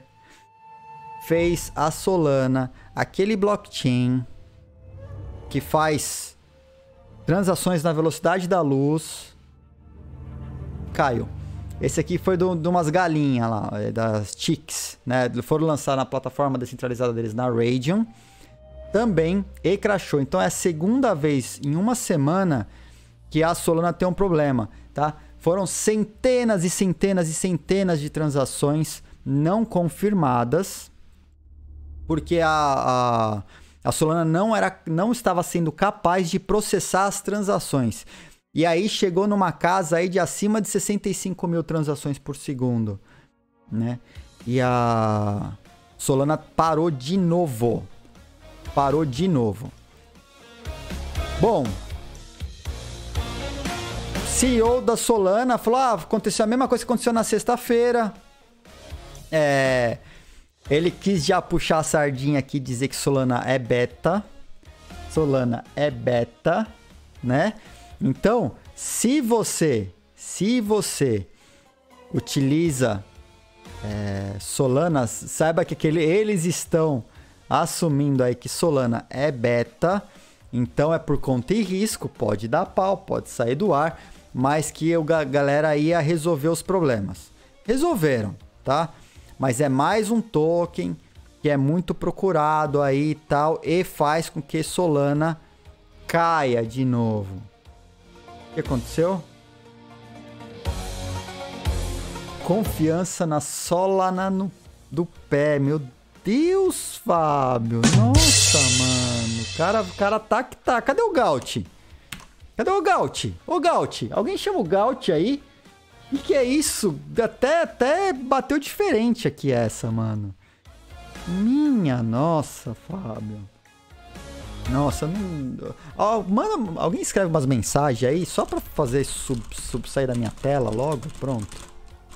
Pronto. Eu faço. Se a galera não vai escrever a ponto de fazer subir, eu tiro da tela. Já pelo menos a minha tela já saiu. Aff, Maria, mano. Que é isso? Que é isso? Mas bom, lançamento de token derruba Solana de novo. Em menos de uma semana, né, esse joguinho aí desses ticks, do token do Sol Ticks, né? É um play to earn, PVP, baseado em Solana. O lançamento tá. Cara, a galera lançou o, as galinhas aí, a galera tá comprando galinha a rodo. Né? Eles falam que dezenas de milhares de pessoas estão tentando comprar ticks, o servidor da Radeon travou.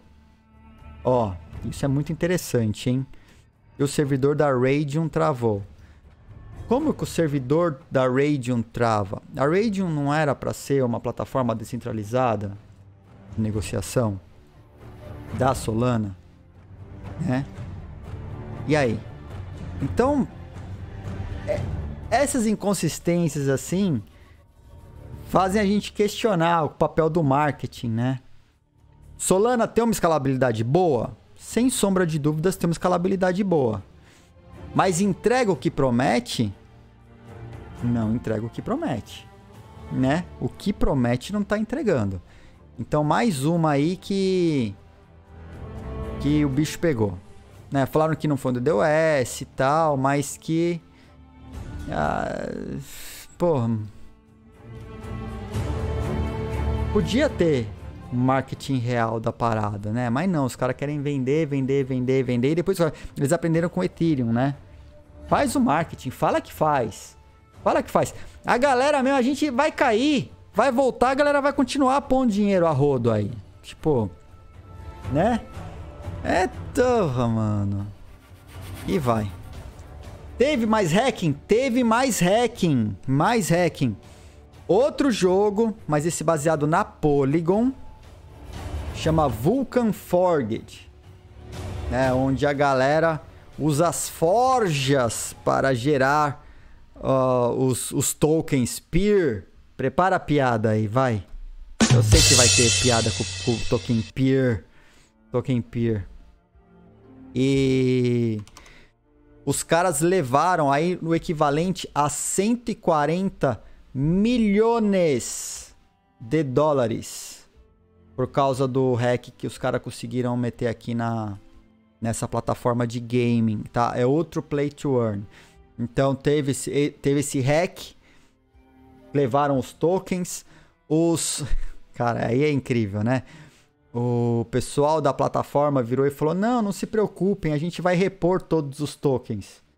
Cara, se os tokens foram roubados e vendidos, vai repor o quê? Você vai criar tokens no ar para entregar? É isso? Qual o sentido, qual o valor desses tokens se você tem essa facilidade de, ah, te roubaram, eu te substituo? Né? Que nem quando aconteceu lá os. Nossa, essa foi tensa. Na época que a gente emitiu os ABCs, né? O. O Joseph, ele virou e falou: Ai, eu mandei uns ABCs pro endereço do smart contract. Tem como você criar mais e me. me... Não. Não tem. Se olhar o smart contract do ABC, até hoje, tem uns ABCs que depositaram lá. Mandaram lá. No... Tá lá. Foi reposto? Não foi reposto. Você vai procurar, não tem um ABC novo emitido. Mas, cara, responsa, cara. Qual é, mano? Né? Festa do, do, do Kaki, né? Aparentemente, pra galera desse game aqui, desse Vulcan Forged, aparentemente é tão simples quanto né? A gente tem a preocupação de fazer o negócio direito, a gente só toma, né? Lá. E aí os caras, não, não, não se preocupa não, vai ser, vai ser reposto. Vai ser reposto, né? Os caras conseguiram achar, olha, e outro, segundo problema do jogo. Segundo problema do jogo, do Play to Earn. Aqui, ó. Um hacker exploitou a plataforma e conseguiu ter o acesso a 96 private keys.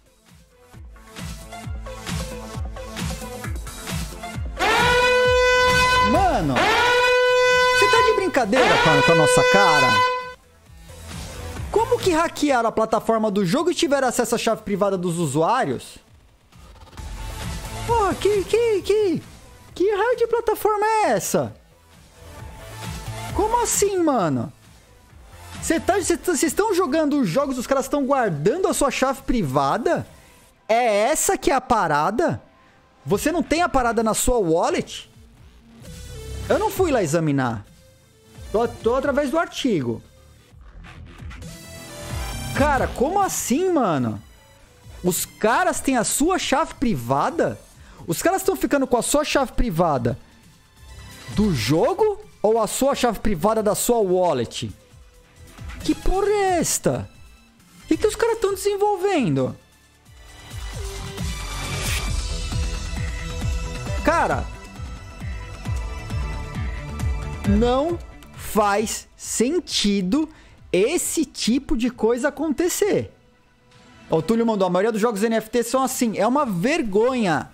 É uma vergonha. É uma vergonha os tokens de um jogo que guardam a sua chave privada terem algum tipo de valor, cara. Isso é bizarríssimo. Não faz sentido nenhum desse tipo de coisa acontecer. E aí o Token Peer? Token Peer caiu. Token Peer voltou? Caiu. É, tá ali, né? Cara, eu fico indignado com esse tipo de coisa. Eu fico indignado com esse tipo de coisa. É muito vergonha alheia. É muito vergonha alheia. Vou até abrir. Vou abrir do Peer. Não, vou, vou, vou. Não vou, não vou nem abrir do Peer. Tô pá. Não vou abrir do Peer. Né? Vamos continuar falando de dessas manipulações de mercado que a gente vê que acontecem no nosso, no nosso universo, no nosso metaverso, né? Aqui no Blocoverso. A sola do pé do Token Pia.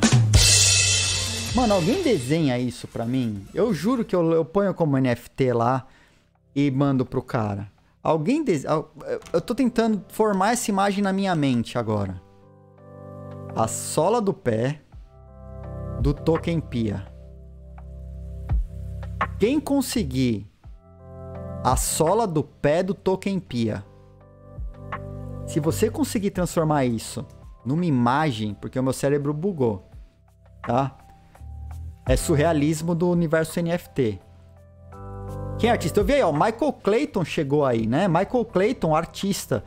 Michael Clayton, bom dia. Tu que manja de arte abstrata, eu, você pode até se inspirar. Eu, eu, eu, eu pediria, falar assim, se inspira nessa frase maravilhinda do bloco, o, o Michael Clayton. Essa merece, essa merece virar arte do surrealismo da, da, da, disso aí, cara. Porque como, como que essa frase ela entra na cabeça, ela deve deve bater bate diferente, né? Tem Nossa, cara, os caras conseguiram. Frase motivacional do bloco. Merece, né? Meu Deus, meu Deus. Ou cuidado, né? Ou, ou, filtra, Michael. Ou não deixa isso entrar no seu cérebro, não, cara. Que aí, de repente, os seus poderes artísticos podem ser drenados aí por, por esse tipo de, de coisa do bloco, você sabe, né? E de repente isso aí, né, vai embora. O Tuco, o Tuco perguntou ali, essa chave pode ser é gerada pelo jogo ou pode ser da MetaMask da pessoa? Tuco, boa pergunta. Não conheço, não fui atrás. Se for a da MetaMask da pessoa, meu amigo, fez estrago. Voltando aqui pro patrono, né? A gente já falou aí da Memetrona e temos o patrono também. A Tesla vai fazer alguns Merc, como a, a lojinha de acessórios do bloco, pagáveis em Doge. E vamos ver como que isso vai. Ele tava precisando fazer caixa, é isso, mano? É isso mesmo? O que, que aconteceu com Doge? que vocês acham que aconteceu com o Doge depois de uma dessa? O que vocês acham que aconteceu com o Doge depois de uma dessa? Né?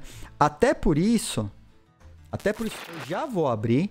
Ontem, ontem eu, eu esqueci, né? Patetei. Então, para não dizer que eu tô patetando já hoje, já vou deixar aberto.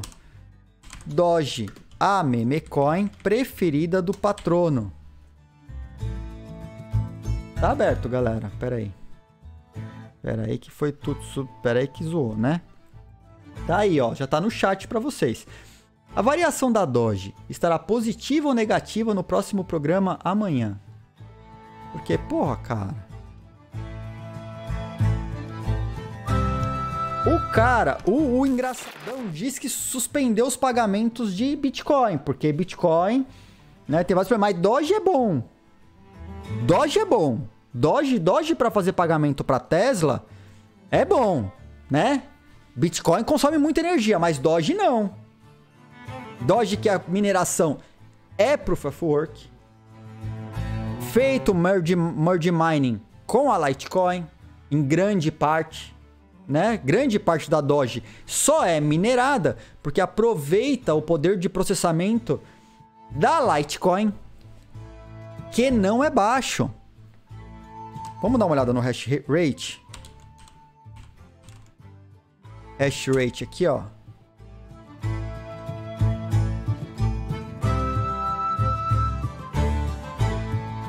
Quanto que tá aqui hoje? Hoje tá na casa de 350 terahash, cara. É alta essa parada. Vamos comparar com outras altcoins?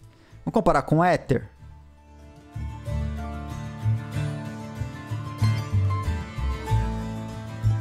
Ó, ah não, Ether, Ether é maior. Mas é quase metade do Ether, né?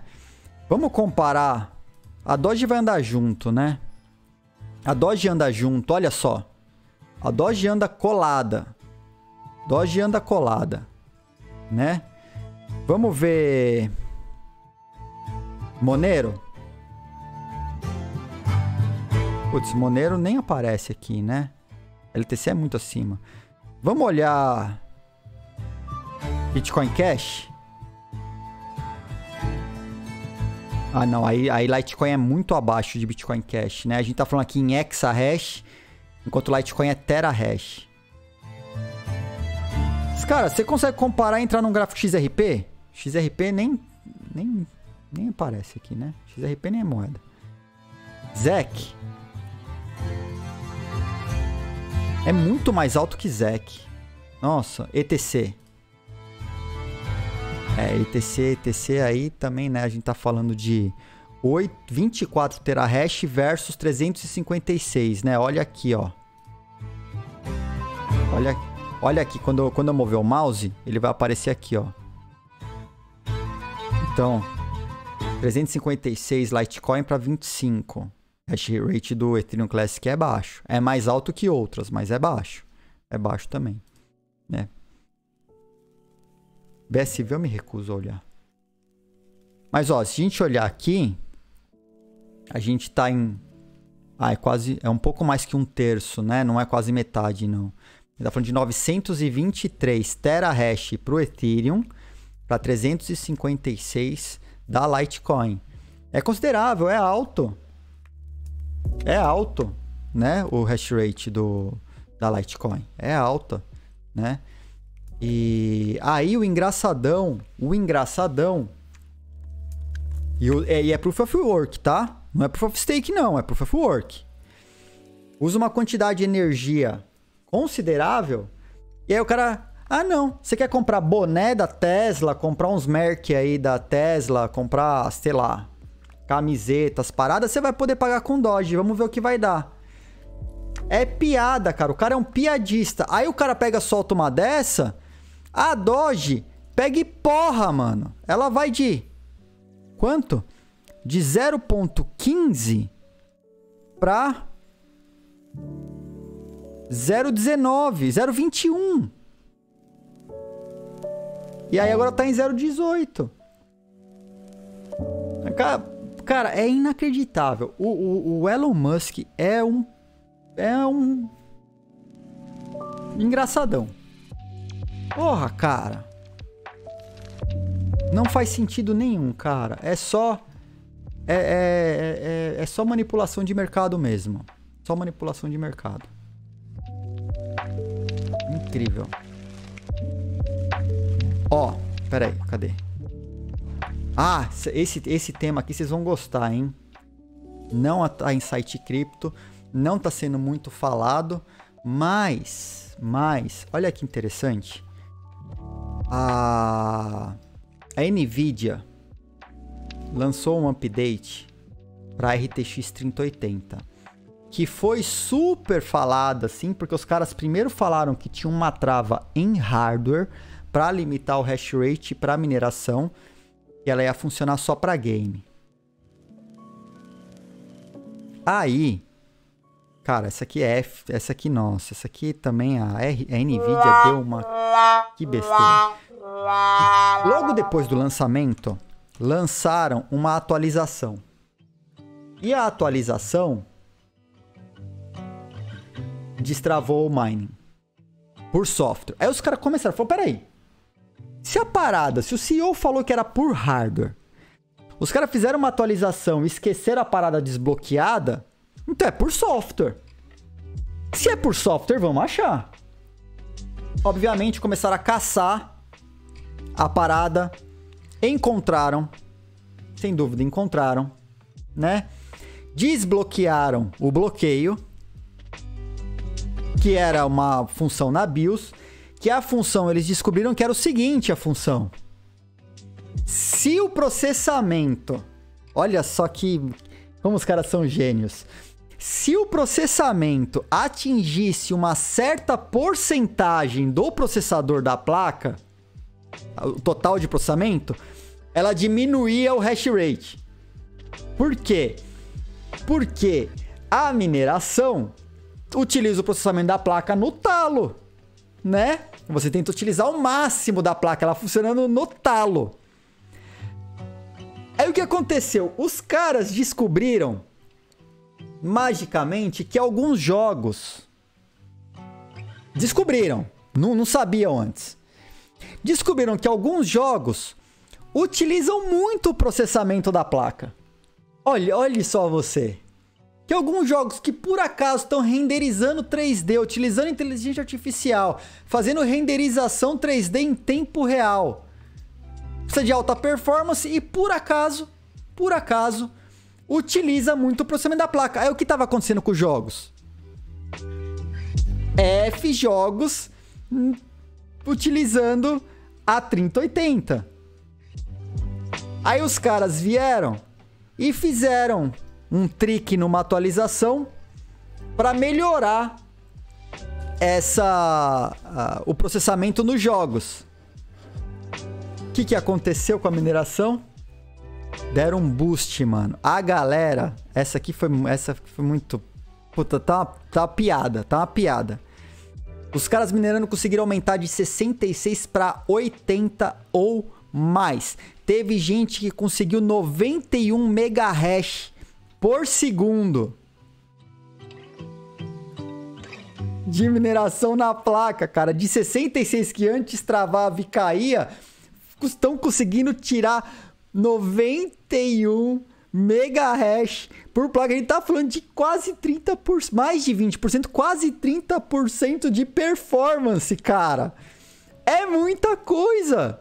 É muita coisa. Então a Nvidia, nessa tentativa frustrada, patetada, patetada, de primeiro falar, não, é por hardware o bloqueio. Não vão conseguir, porque se os caras mexerem no hardware, a placa para de funcionar. Viu? CEO tem declaração dele. Eu acompanhei no lançamento da placa, no anúncio. Aí lançou. Lançou na sequência. Update. Aí, cara, acho que foi um dos primeiros updates. Um dos primeiros updates. Os caras esqueceram, esqueceram de habilitar o troço. Desbloqueou para todo mundo. É óbvio que os caras foram comparar, né, meu? É óbvio que os caras foram comparar. E acharam. Link na tela, Peter. Opa. Vamos mandar o link também no chat. Ah, meu amigo, patetada dos caras, uma em cima da outra. Tá no chat também aí, Peter. Mas tá o, o QR Code está na tela. Tá, o QR Code está na tela. É só tirar um print. Se você estiver no celular, você tira um print e abre no Google Fotos. Ou você utiliza seu celular, escaneia o QR Code e já salva o link aí nos seus nos seus favor, nos seus favoritos aí, aí nos seus favoritos, tá? Então é isso. Eu não sei a especificação, não sei quantos watts está consumindo, viu, Fábio? Você perguntou? É questão agora de ir atrás. Quem, quem usa a placa, eu sei que você tem. É, você, você, acho que foi você, né, que adquiriu uma 3080 recentemente, não foi? Ou uma, uma, uma, sei lá. E dá uma olhada. Aí tem que ir atrás. 3070, 3070. Vai atrás, cara. De repente você acha essas informações. Ó, falou aqui, ó. O Red Panda. Ó, é, deve ser brother seu, inclusive, hein? Red Panda Mining. Red Panda Mining. Pe pegou o, uma BIOS aí. E pegou essa 3080 Ti e conseguiu 91. Red Pants. Ó, tem uma página aqui que os caras falam, ó. Os caras conseguiram de 74 para 91 MHz por segundo. Do Red Panda. Link na tela também. Tá? Pega aí, você, vocês vão achar um vídeo aí, o cara explicando como que ele fez a parada para liberar esses megahash por segundo aí. Cara, é muito. É todos, é, isso é pra 3080, André. Porque só a 3080 que eles vieram com essa historinha do bloqueio. Tá? Foi a 3080 que veio com a historinha do bloqueio por hardware, que não era por hardware, era por software, na BIOS, do update da BIOS da placa, do, de firmware, né? E aí os caras conseguiram achar o local lá. E agora, por causa dessa questãozinha de tá travando a placa pra game, imagina, cara, F, o cara compra uma 3080, paga quilos de dinheiros. Aí, quando usa a placa no talo, vai lá a placa e corta, né? Corta o processamento porque acha que você tá minerando. E não tá minerando, você tá rolando seu game lá, tá fazendo seu, pro... cara, seu processamento de AI, fazendo deep learning nervosamente. Meu Note aqui, esse aqui tem uma 3050 aqui no meu Note, né? E, cara, fui fazer um trabalho de Deep Learning. Cara, fui no talo, cara. Eu consegui, consegui o dom aqui de, de. Nossa, cara, fritar o Note no talo. Não ia mais adiante. Tive que parar. Fui rodar umas threads para rodar é, uns processamentos em paralelo tal. Eu fiz o Note apagar, cara. Travei o Note várias vezes até conseguir tunar para fazer um deep learning. Né? Eu não uso para mineração, é o Note que eu uso para trabalhar, fazer a live. Mas ó, eu uso ele para processar AI também, né? Ó, o Elber mandou ali, ó. Eu acho que a 3080 pode chegar a 335 watts. Founders Edition. Caraca, é muito, velho. É muito. É bastante. Tá? Então, mas tá aí. Notícias para quem curte mineração, para quem tem placas de vídeo, as RX 30 alguma coisa aí. Ó, o Túlio mandou, dá pra chegar a 90 na 3080, só que é no talo. Não é tão saudável quanto deixar no talo 24%. Exatamente. Exatamente, né? Por isso que os caras pegam essas placas e usam só pra mineração. Se você for usar uma placa dessa, é, é, ah, é meu note, aí eu deixo meu note minerando durante a noite, cara, você tá, você tá queimando dinheiro. Na boa. Você tá queimando dinheiro. Se você usar para mineração, a placa aqui de um, de um computador que você usa para trabalho. Porque o preju que você vai ter. Porque primeiro você tá acabando com o tempo de vida da placa. Segundo, meu, que a placa pode sim queimar. E a quantidade de energia que ela leva pode queimar o dispositivo.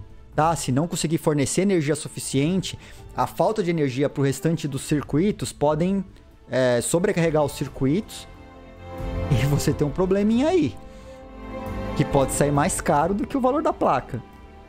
Né? É tudo, cara. Vai tudo pro limbo. Né? Então, bom, mas, mas, são notícias interessantes, né? Para quem curte uma, um mining, aí, quem curte um mining, notícia interessante, super fresquinha aí pra galera do bloco. Pra galera do bloco, tá? Falando ainda de internet das coisas, E se tiver frio, compensa minerar para se, pra se esquentar. Jeff, pode até compensar. Mas se for no talo, pode ser que esse aqui você fique sem seu aquecedor, né? Pode ser que você, você literalmente queime o seu aquecedor. Aí é F, né? Se tiver muito frio, aí é F, você queimar o seu aquecedor. Né? Aí, aí bicho pega, né? Mas, ó, notícias interessantes aqui, ó. O IEE, I3E, que é, fazem padrões e normas para tudo aí, os caras começaram um trabalho interessante para fazer, para trabalhar sobre padronização de identidade das coisas, não só a identidade das pessoas, mas identidade descentralizada das coisas. O que isso significa? Que num futuro próximo, num futuro próximo, num, num universo baseado em tecnologia blockchain, em blockchains, as coisas não terão um endereço IP. Por quê? Porque você não precisa de um endereço IP. Você tem sistemas de mensageria acontecendo em blockchain. Certo? Então, com sistemas de mensageria em blockchain, você não precisa mandar uma coisa direta, uma, uma mensagem que vai cair diretamente na coisa de destino. Num sistema de mensageria em blockchain, você manda uma mensagem para a blockchain que vai ser registrada no grande banco de dados distribuído e descentralizado, que é um blockchain. E as coisas olharão para essa infraestrutura para saber se ela recebeu uma mensagem para executar alguma coisa ou não. Sabe por que isso é legal? Porque os ataques de DDoS tendem a acabar. Por quê? Porque o dispositivo, olhando para sua fila interna, ele vai pegar a próxima mensagem assim que ele tiver disponibilidade para executar. Olha só que bacana. Por isso é muito importante você pensar em padronização de formas de endereçamento é, como se fossem identidades. Olha só, você tem uma lâmpada, você tem uma lâmpada com uma identidade. Você não tem o endereço da lâmpada, você não está mandando uma mensagem direto para a lâmpada.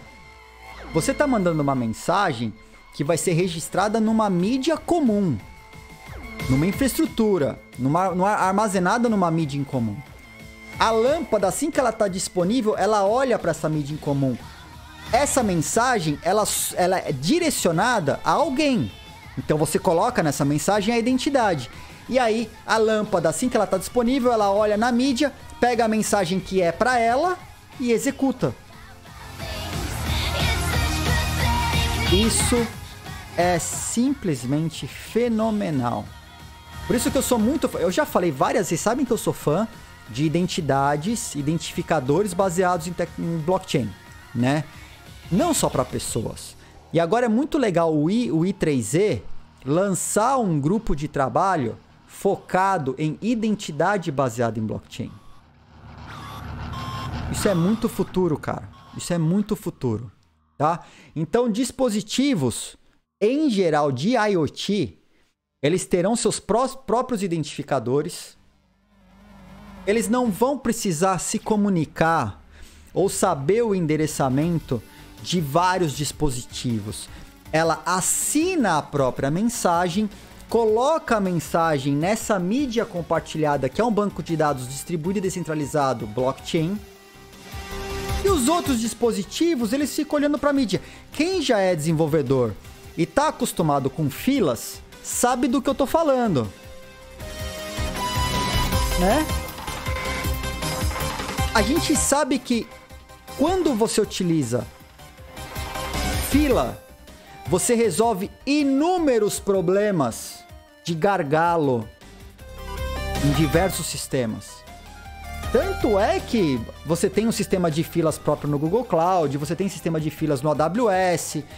E esses sistemas de fila, ele fica muito difícil de você migrar depois. Então eu tenho meu sistema rodando no AWS, utilizando sistema de mensageria de fila do AWS. Putz, eu quero mudar o provedor. Cara, eu tenho que redesenvolver a aplicação para usar o outro sistema de filas. É um saco. E se ao invés de utilizar um sistema de filas proprietário, eu utilizasse, utilizasse blockchain como um sistema de filas público? E cada um dos agentes que fossem se comunicar com e pegar essas mensagens tivesse o identificador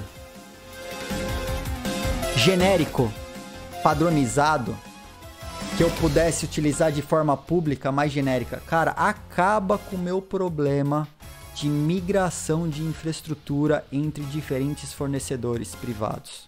Acaba. Simplesmente resolvo. Ed, não dá para usar o padrão ports and adapters nesse caso? Dá. Dá. Mas a questão toda é que você continua preso a um software específico. Você fica preso a um só. Eu estou falando software de maneira genérica, mas uma infraestrutura muito específica. E é aí que está o ponto que é importante você padronizar e trazer interoperabilidade para o modelo.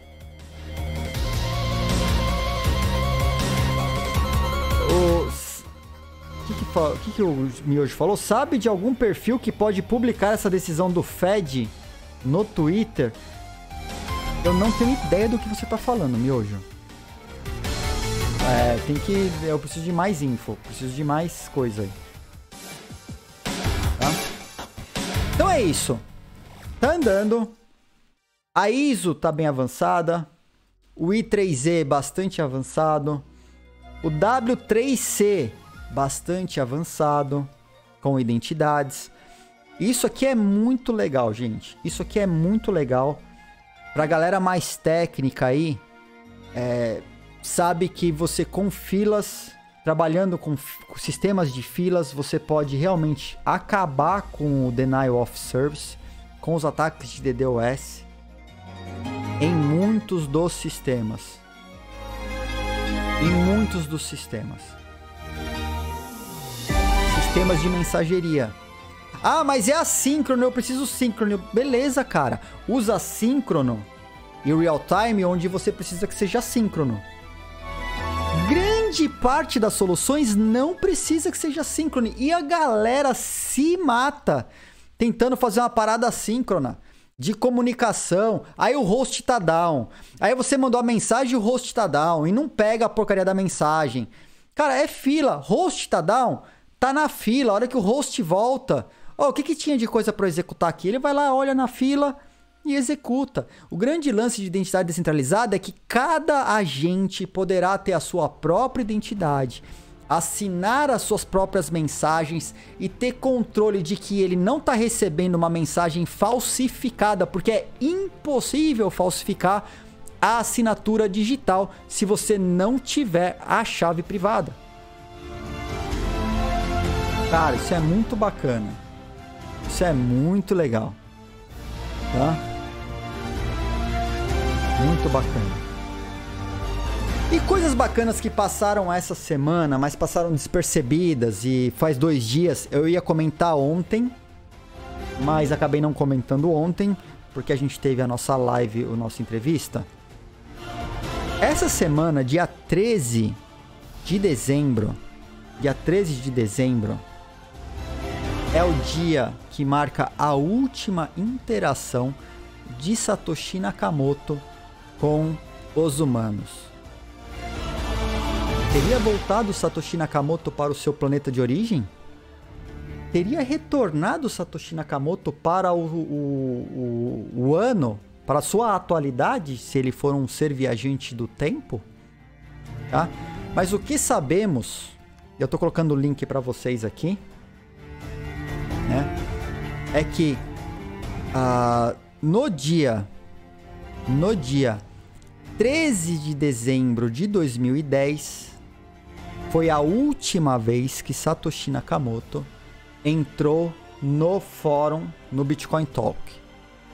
Mas a última mensagem enviada por Satoshi Nakamoto foi do dia 12. Tô colocando os dois links para vocês aqui, tá? Tá na tela. Foi no dia 12.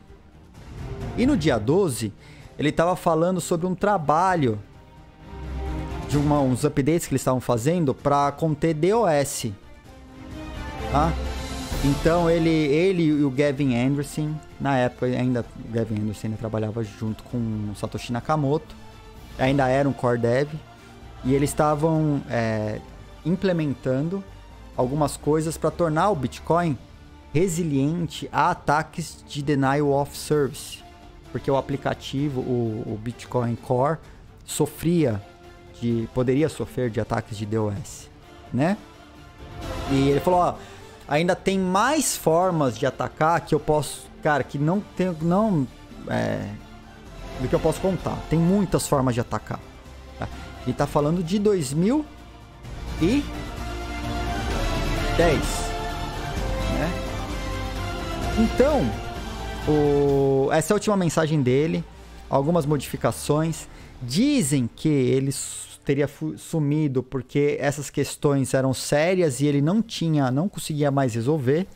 Mas esta aqui que está na tela, que está o link na tela para vocês, foi a última interação do Satoshi Nakamoto com uma mensagem no dia 12 de dezembro de 2010. Sendo que no dia seguinte, não se sabe se ele entrou e logou e deslogou tal, porque Assim, não tem mais mensagem dele, mas ele teria logado e deslogado. Essa conta dele teria, log... teria entrado no Bitcoin Talk. E aí ficou o registro da última vez que essa conta é, entrou. Né? A Kim mandou, Ed, a tal mensagem do Satoshi na P2P Foundation, taranã, cuja frase era: Eu não sou, não sou Dorian Nakamoto, em referência ao californiano, né? O que acontece? As, essa conta, Kim, ela, ela sofreu um hacking. Na verdade, esse servidor sofreu um hacking anos atrás. E assim, não dá para saber se era o Satoshi Nakamoto mesmo que mandou a mensagem ou não.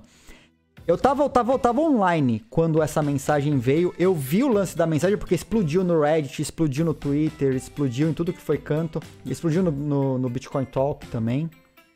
Tudo que foi canto, né? Mas não dá pra confirmar se era mesmo Satoshi Nakamoto ou não, porque a conta teria sido hackeada, porque o servidor foi hackeado tá? Então não dá para bater o martelo que foi Satoshi Nakamoto que mandou a mensagem. A chance maior é de que não era. Porque a conta foi hackeada, tá? Isso foi confirmado. Os servidores foram hackeados. As contas foram hackeadas. Então isso aí, isso aí foi confirmado. Então não dá para bater o martelo que era mesmo Satoshi Nakamoto só falando, eu não sou o Dorian. Porque foi quando saiu aquela, aquelas reportagens que falava encontramos, encontramos o, o Satoshi Nakamoto e a história e a saga do repórter indo de lugar em lugar, conseguindo informações tal, até chegar no Dorian. E foi a primeira vez que apareceu o Dorian.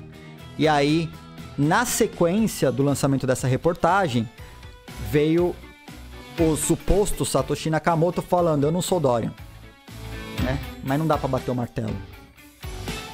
É o Dória, é o Dória, meu Deus. Os caras não param, mano. Não é o Dória, pelo amor. Não é o Dória, pelo amor. Não, não, não, não. Que é isso, que é isso. Coitado do Dorian. E o Dorian virou a face, né? O Dorian virou a face. A face moral do Satoshi Nakamoto. Porque, né? Tem muitas coincidências em relação à história do Dorian aí. Pô, vizinho de bairro do Ralphine. Vizinho de bairro, cara. O maluco chama Satoshi Nakamoto. O maluco trabalhou com criptografia. É, é, né? Pois é. Bom, vamos continuar, vamos continuar. Vamos falar aqui, ó, Eu, preciso caminhando para os finalmente aqui. Square. A Square vai permitir você dar presentes de Bitcoin agora nos feriados. Pena que o Cash App não está disponível aqui na Europa. Eu não consigo. Não sei se vocês conseguem baixar Cash App no Brasil. Não sabemos. Senhor Jameson, obrigado pelo follow. Tamo junto. Tamo junto. Então, ó, se você tem o app da Square, o Cash App, você pode, se você está nos Estados Unidos, com toda certeza Estados Unidos pode. Brasil, eu tenho dúvidas, não sei se, pra, se o Cash App está disponível no Brasil, aqui na Europa não está. Mas o Cash App vai permitir você presentear pessoas com Bitcoin, tá? Fazer transferências aí a partir de um dólar. Um dólar. Quem mais vai dar é, permitir presentes aí em Bitcoin? O app do Robinhood. Eles estão trabalhando numa ferramenta, numa feature aí de para presentear as pessoas com cripto dentro do app. Então, Robinhood, quem usa o app do Robinhood poderá muito em breve, muito em breve, é, faz, dar presentes em cripto para os outros também. E como estamos na época de festas, temos uma lista aqui de presentes que você pode dar pro, pro seu pro cripto entusiasta ou pro NFT entusiasta aí, brother seu, brother seu, né? O que, que pode ser dar de presente, ó? Esse Block Clock, cara, o Block Clock, ele é muito legal. Quem, quem famoso tem um Block Clock? Quem famoso? É da CoinKite. A CoinKite tem várias coisas legais, tá? Produtos legais em cripto. Quem? Quem? Jack Dorsey. Olha lá. Jack Dorsey, em uma das entrevistas que ele deu, tem um block clock aqui, ó. Tá? O block clock, ele fica mostrando aí valor do Bitcoin, número de blocos, programável. É muito, muito, muito legal. Tá? Muito legal. Então, block clock. Presente da hora para se dar. Camisetas da Gitcoin, aqui já é Ethereum, tá? A Gitcoin é uma plataforma para onde eles é, fazem funding de projetos voltados para Ethereum. Então, camiseta Gitcoin para aquele, para aquele seu amigo nerd que curte uns, uns Ether, tá? Ecossistema do Ethereum. Coinbase, saibam vocês que a Coinbase tem gift cards e que você pode presentear a pessoa com gift card da Coinbase. Ah, então você pode, o gift card de vários temas, inclusive do, dos, do, dos macaco, macaco injuriado lá, né, dos Bored Apes. Você tem, é, tem um monte de, de tema lá. Vamos ver se aparece aqui os teminha. Vamos ver. Olha lá, tem... Cara, tem um monte de tema. Ó, tem Bored Ape, tem uns bagulho que você vê lá na Solana tal. Tem aí, ó. Tem uns negócios legais aí. Então, ó, é, é o Bored Ape 1644. Então tá aí. Tá? Quem quiser, tá o link na tela também para você dar um gift de presente. Vou dar pra menina que eu tô gostando, 20 dólares suave. Né? Por que não, Despa? Por que não? Ah, tenho certeza que da cripto de presente você vai, tu vai ficar bem na fita. Tu vai ficar bem na fita. Tá? Aí ela pega os 20 dólares, espera, espera. Não, não vou, não vou sacanear. Fala, né, fala que ela vai pegar os 20 dólares e vai comprar um presente pro namorado dela. Né? Aí é sacanagem, né? Sacanagem, mancada. Não, Despá, espero que você tenha muita sorte aí. Não, não, não entra na minha, não, que eu. É tudo errado aqui, cara. Né? que mais? Tem um livro. Um livro aí, ó. Né? É, você pode comprar, chama The Infinite Machine. A máquina infinita. The Infinite Machine. Né? Explica a história do Ethereum. Um livro interessante aí, ó. Ideias, ideias. Tô pondo o link na tela aqui para quem quiser abrir e ver o que eles têm aí. uma blusa feita pela mamãe, né? Mas é uma Christmas... Crypto Christmas. Bitcoiner. Olha que legal. É, ó, essa é maneira, de boa. Se é para usar uma, uma, uma malha dessa aí, né? Feita pela mamãe, pela vovó, eu acho que uma dessa é muito legal, porque vai surpreender. A galera não vai esperar que tem tanta referência a cripto. Tem Hodley, tem é, Bitcoin, fomos, cara, é muito louca. Essa é da hora. Essa eu usaria. Essa eu usaria. Se quiser mandar, se quiser mandar, né? É, Brasil dá não, calorzão. É, é verdade, né? É, teria que ser aqui. Eu aceito, eu aceito, tá? Uma caneca pros, pros, pros NFT lovers aí. Que quando coloca li, líquido quente, aparece GM. Aí. Guiço! Guiço, se tiver aí, ó. Na visualize.com. Custa 18 doll. É legal essa, meu. GM. Você tá com o líquido, dá um GM. Eu achei essa da hora. Essa achei da hora. Aqui na Bahia tá frio de 35 graus. Nossa, Welber. Pois é, é, aqui bateu menos 15, agora deu uma esquentada. Agora deu uma esquentada, deve estar tá um... Até deu uma degelada, deve estar tá 0, menos 3. 0, menos 3, alguma coisa assim.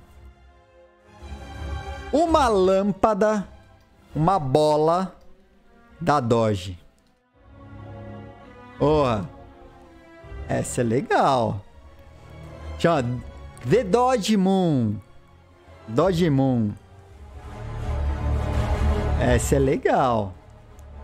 Será que tem caneca da Shiba? Ó outro chibeiro aí, ó. Ó outro chibeiro aí. Essa, essa da, da, da Dodge Moon aqui é legal também. 42 dólares. Oh, isso é bacana. Eu gostei dessa Dodge Moon. Queria, queria pegar umas, umas tralhas dessa aqui, se desse pra colocar na lojinha da, do Morning Crypto de acessórios pra fazer lá, mas não, não tem, né? Eu vou procurar um jeito. Chega de, de Dodge. Shiba Moon Lamp. Olha este presente. Este presente aqui, este presente você pode conseguir com o Morning Crypto. Uma Ledger Nano X. Porra, este é um baita de um presente. Presentaço, digamos, de passagem, né? Que, nem falei no começo da live, assim que chegarmos, tá aqui do lado, ó. Aqui do lado, de, desse lado aqui, aqui, acertei. Assim que chegarmos a 200 inscrições, 200 inscritos, sorteio de Ledger Nano X para os inscritos aqui do canal. Se você ganhou inscrição de presente, presente doado pela galera do bloco, você Eu poderá participar do sorteio mesmo. também. É, Fábio que vai ganhar vai ser banido. Vai ser banido antes. Eu tenho certeza que vai ser banido antes. Também temos certezas aqui. Taxado. Livro Bubble or Revolution. Bom livro também aqui para ser dado de presente para quem curte li né, livros. Fala aqui sobre o, o crescimento, o surgimento do Bitcoin e das altcoins. Eles fazem uma separação clara, né? Bitcoin e altcoins, Bitcoin e criptomoedas, né? Ó lá, a galera tá pedindo seu ban aí, Fábio, ó, vai ser banido e vai vir para mim, ó lá. Tá? Então, Bitcoin Face Mask. Bitcoin Face Mask. Aí, cuidem-se, cuidem-se, estamos numa pandemia, hein? Bitcoin Face Mask. Putz, isso aqui é muito louco. Essa, essa aqui, assim. Tem uso? Não tem. Tem uso, assim, serve para alguma coisa? Não serve para muita coisa. Mas, meu amigo, esses cubos de tungstênio são legais pra caceta, mano. Esses cubos são de uma densidade absurda. Esses cubos são muito legais, cara. É muito, muito, muito bacana. Quem curte é, cubo de tungstênio aí, manda um T maiúsculo aí no chat, né? Isso é muito legal, galera. Baita presente para o seu amigo Cryptolover, criptoentusiasta. Cara, quem não curte cubo de tungstênio, eu não sei, eu não sei o que você tá fazendo aqui, cara. Eu não sei. Tinha que ser taxado. Tinha que ser taxado. Porque, cara, que bagulho da hora que é um cubo de tungstênio. Eu teria um. Eu teria um. Né? Vamos lá, que mais? O livro The American Kingpin. Este livro, ele conta a história do... Se não sabe o que é, tá aí, Kim. Ih, aí lascou, Kim. Aí, Kim, ó. Desculpa. Desculpa, mas... Aí não tem futuro não, Kim. Não tem futuro não. Não tem futuro. Esse, esse livro, ele conta a história da Silk Road, tá? Então, é, vende aí por 15 doll na Amazon. Conta, conta os caminhos aí do Ross Ulbricht, história da Silk Road e tal. Parece ser um livro ba bem bacana, tá? Então, galera, presentes de Natal para o seu Crypto Lover de preferência. Eu aqui pode ser também aceito ser presenteado. Aceito ser presenteado, tá? Com um desses presentes. É, se eu pudesse escolher, eu gostaria de ou um Block Clock, um... Eu usaria uma dessas, sem sombra de dúvidas. Eu teria, não teria uma caneca dessa porque eu já tenho a caneca que é mais legal, tá? Eu já tenho a caneca mais legal aqui que você encontra em loja.edios.com. Lojinha do bloco, já mostrei mais cedo. A lâmpada eu passo, a LED Nano S, Nano X eu passo. Mais um cubo de tungstênio, cara. Esse me pega, hein? Esse, esse. Ô, oh, Tuco, só cubo de nióbio. É, cubo de nióbio. Cubo de, de grafeno, cara, de tungstênio é muito louco, porque essa parada pesa muito. É um cubo desse tamanho, assim, cara, pesa demais essa desgraça. Pesa demais. Vou fazer um coração de cubos de tungstênio, cara. Né?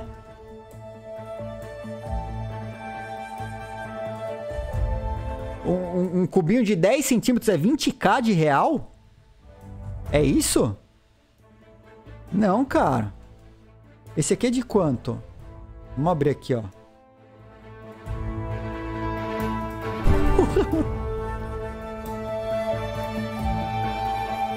Nossa, é 30 doll de 1 centímetro, cara. Nossa, nossa, nossa, nossa, nossa, cara. Olha o de 4 polegadas, mano. Porra, logo do bloco em tungstênio. Ia ser da hora, hein? O vídeo de tungstênio com, com o logo do bloco. 3.500 Bidens, cara. Minha nossa, pesa 18 quilos. Cubinho, cara. 18 quilos. Eles também têm a, esfera de tungstênio aqui, mas o cubo, né, cara? O cubo. Nossa, mano, olha o tamanho disso. Ó, de 4, ó. Esse é o de 4. 18 quilos. Nossa, é mesmo, o Fábio Oliva mandou a real ali, ó. É 3.500 3.500 Bidens mais 85k Bidens só de só de para entrega. Só pra entrega. O maluco fez o vídeo jogando de um prédio, cara. É Sempre isso open lá, obviamente. Thank you. Caraca, é isso mesmo. Oh, he opens. oh. Some facts about the Cube Gaunson. Yes. First one, thank you to KiwiCo for sponsoring the video. Quem quiser ver, tem tá na tela aí, tá? Não vou passar o vídeo. They've enabled us to Já get tenho que ir pros encerramentos aqui. Bom, tinha algumas notícias sobre NFTs, eu vou deixar para amanhã. Mas são notícias mais genéricas. Algumas delas a gente até tratou ontem, como a aquisição da Nike daquela empresa de, de VR, de NFT com VR que tá fazendo, né? Mas eu não vou conseguir assistir, não vai dar, não vai dar, ó. Vai dar, vai dar no horário da minha reunião. Já preciso começar a ir pros finalmente aqui. Por conta disso, Por conta disso, vamos fazer aqui o sorteio, ó. O sorteio de hoje dos 2.500 sats do Morning Crypto 140. São 23 participantes. 24 participantes porque tem uma porrada de safado aí no chat, né, que não pegou os tickets antes.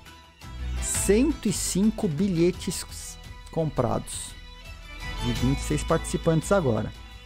Por conta disso, estou abrindo a contagem regressiva, nosso contador tocando. São os últimos momentos para você, meu amigo, pegar os seus tickets para o sorteio dos 2.500 sats, que acontecerá em instantes.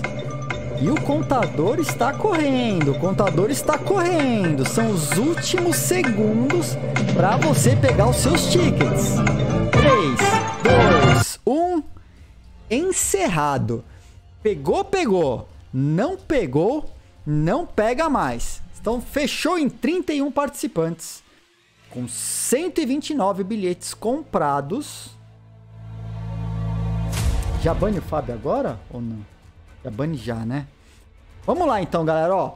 Que rufe os tambores. Quem será o feliz ganhador do nosso sorteio comemorativo do episódio 140? Peter! Peter Flag! Peter Flag levou! Hugo Pedro Bandeira! Tá no chat, Peter? Tá no chat, os caras abriram contagem regressiva, cara. Abriram contagem regressiva já, Peter. São seus últimos instantes. Vou abrir aqui, ó. Ah, tá aqui, ó, galera. Tá nervosa. Tô Que que é aqui, ó. Criptomoeda. Eu já ia abrir o contador de novo. Tô vendo. Tô de olho ali. Peter tá. Ó, fechei o sorteio, Peter. Fechei o sorteio. Neste exato momento, eu tô te passando aí o. Cadê? Cadê tu? Ó, tô te passando o link aí. Parabéns. Obrigado aí, você tá sempre com a gente, né, cara? Você dá sempre essa força também. Operativo aí. Então, ó, tô te mandando. Parabéns, obrigado pela força que você sempre dá aqui no canal. Tá, tamo junto, cara. E é isso, galera. Ó, o chat. O chat fica indignado. O chat fica indignado, mas é verdade. Fez sorteio, o Peter levou, né? 2.500 sats do episódio 140. Ou me empresta dinheiro ou amassa tua cara. 10 episódios para o episódio 150, galera. Então, semana que vem, eu tô até pensando em adiantar esse episódio 150, né? Porque teremos aí um episódio super especial de pré-natal. Super especial de pré-natal. Convidados especiais, sorteios especiais. Muita coisa boa aí semana que vem, tá? Mas por hoje é isso. Eu tenho uma reunião com o pessoal da T-Análise já já. Então, realmente, é já já mesmo, né? 15 minutinhos, tenho que me preparar para a reunião. Galera, obrigado pelas mensagens, pelos subs, pela, pelos áudios, né? Pelos follows. Obrigado pelos follows também. Valeu pela sua participação, obrigado pela sua audiência. É muito importante para a gente continuar produzindo esse conteúdo. Tá? Então é isso, galera. Fico por aqui, se cuidem.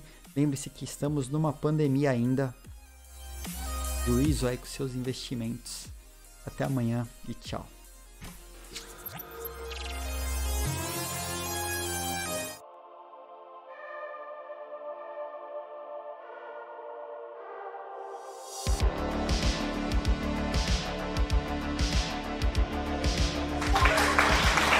Criptomoeda? Pam pam Bitcoin que que é isso? Criptomoeda pera galo fui galera. Mameto na Criptomoeda. desinformada. Bitcoin. O que é isso? Criptomoeda.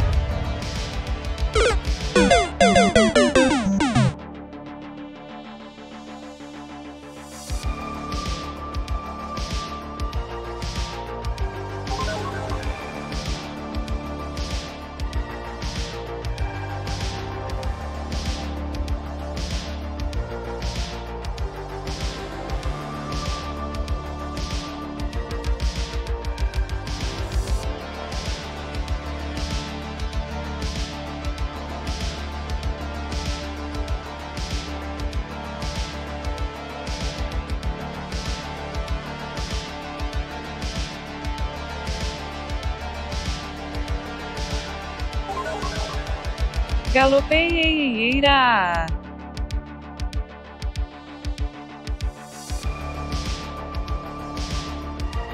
Criptomoeda. Bitcoin. O que, que é isso? Criptomoeda.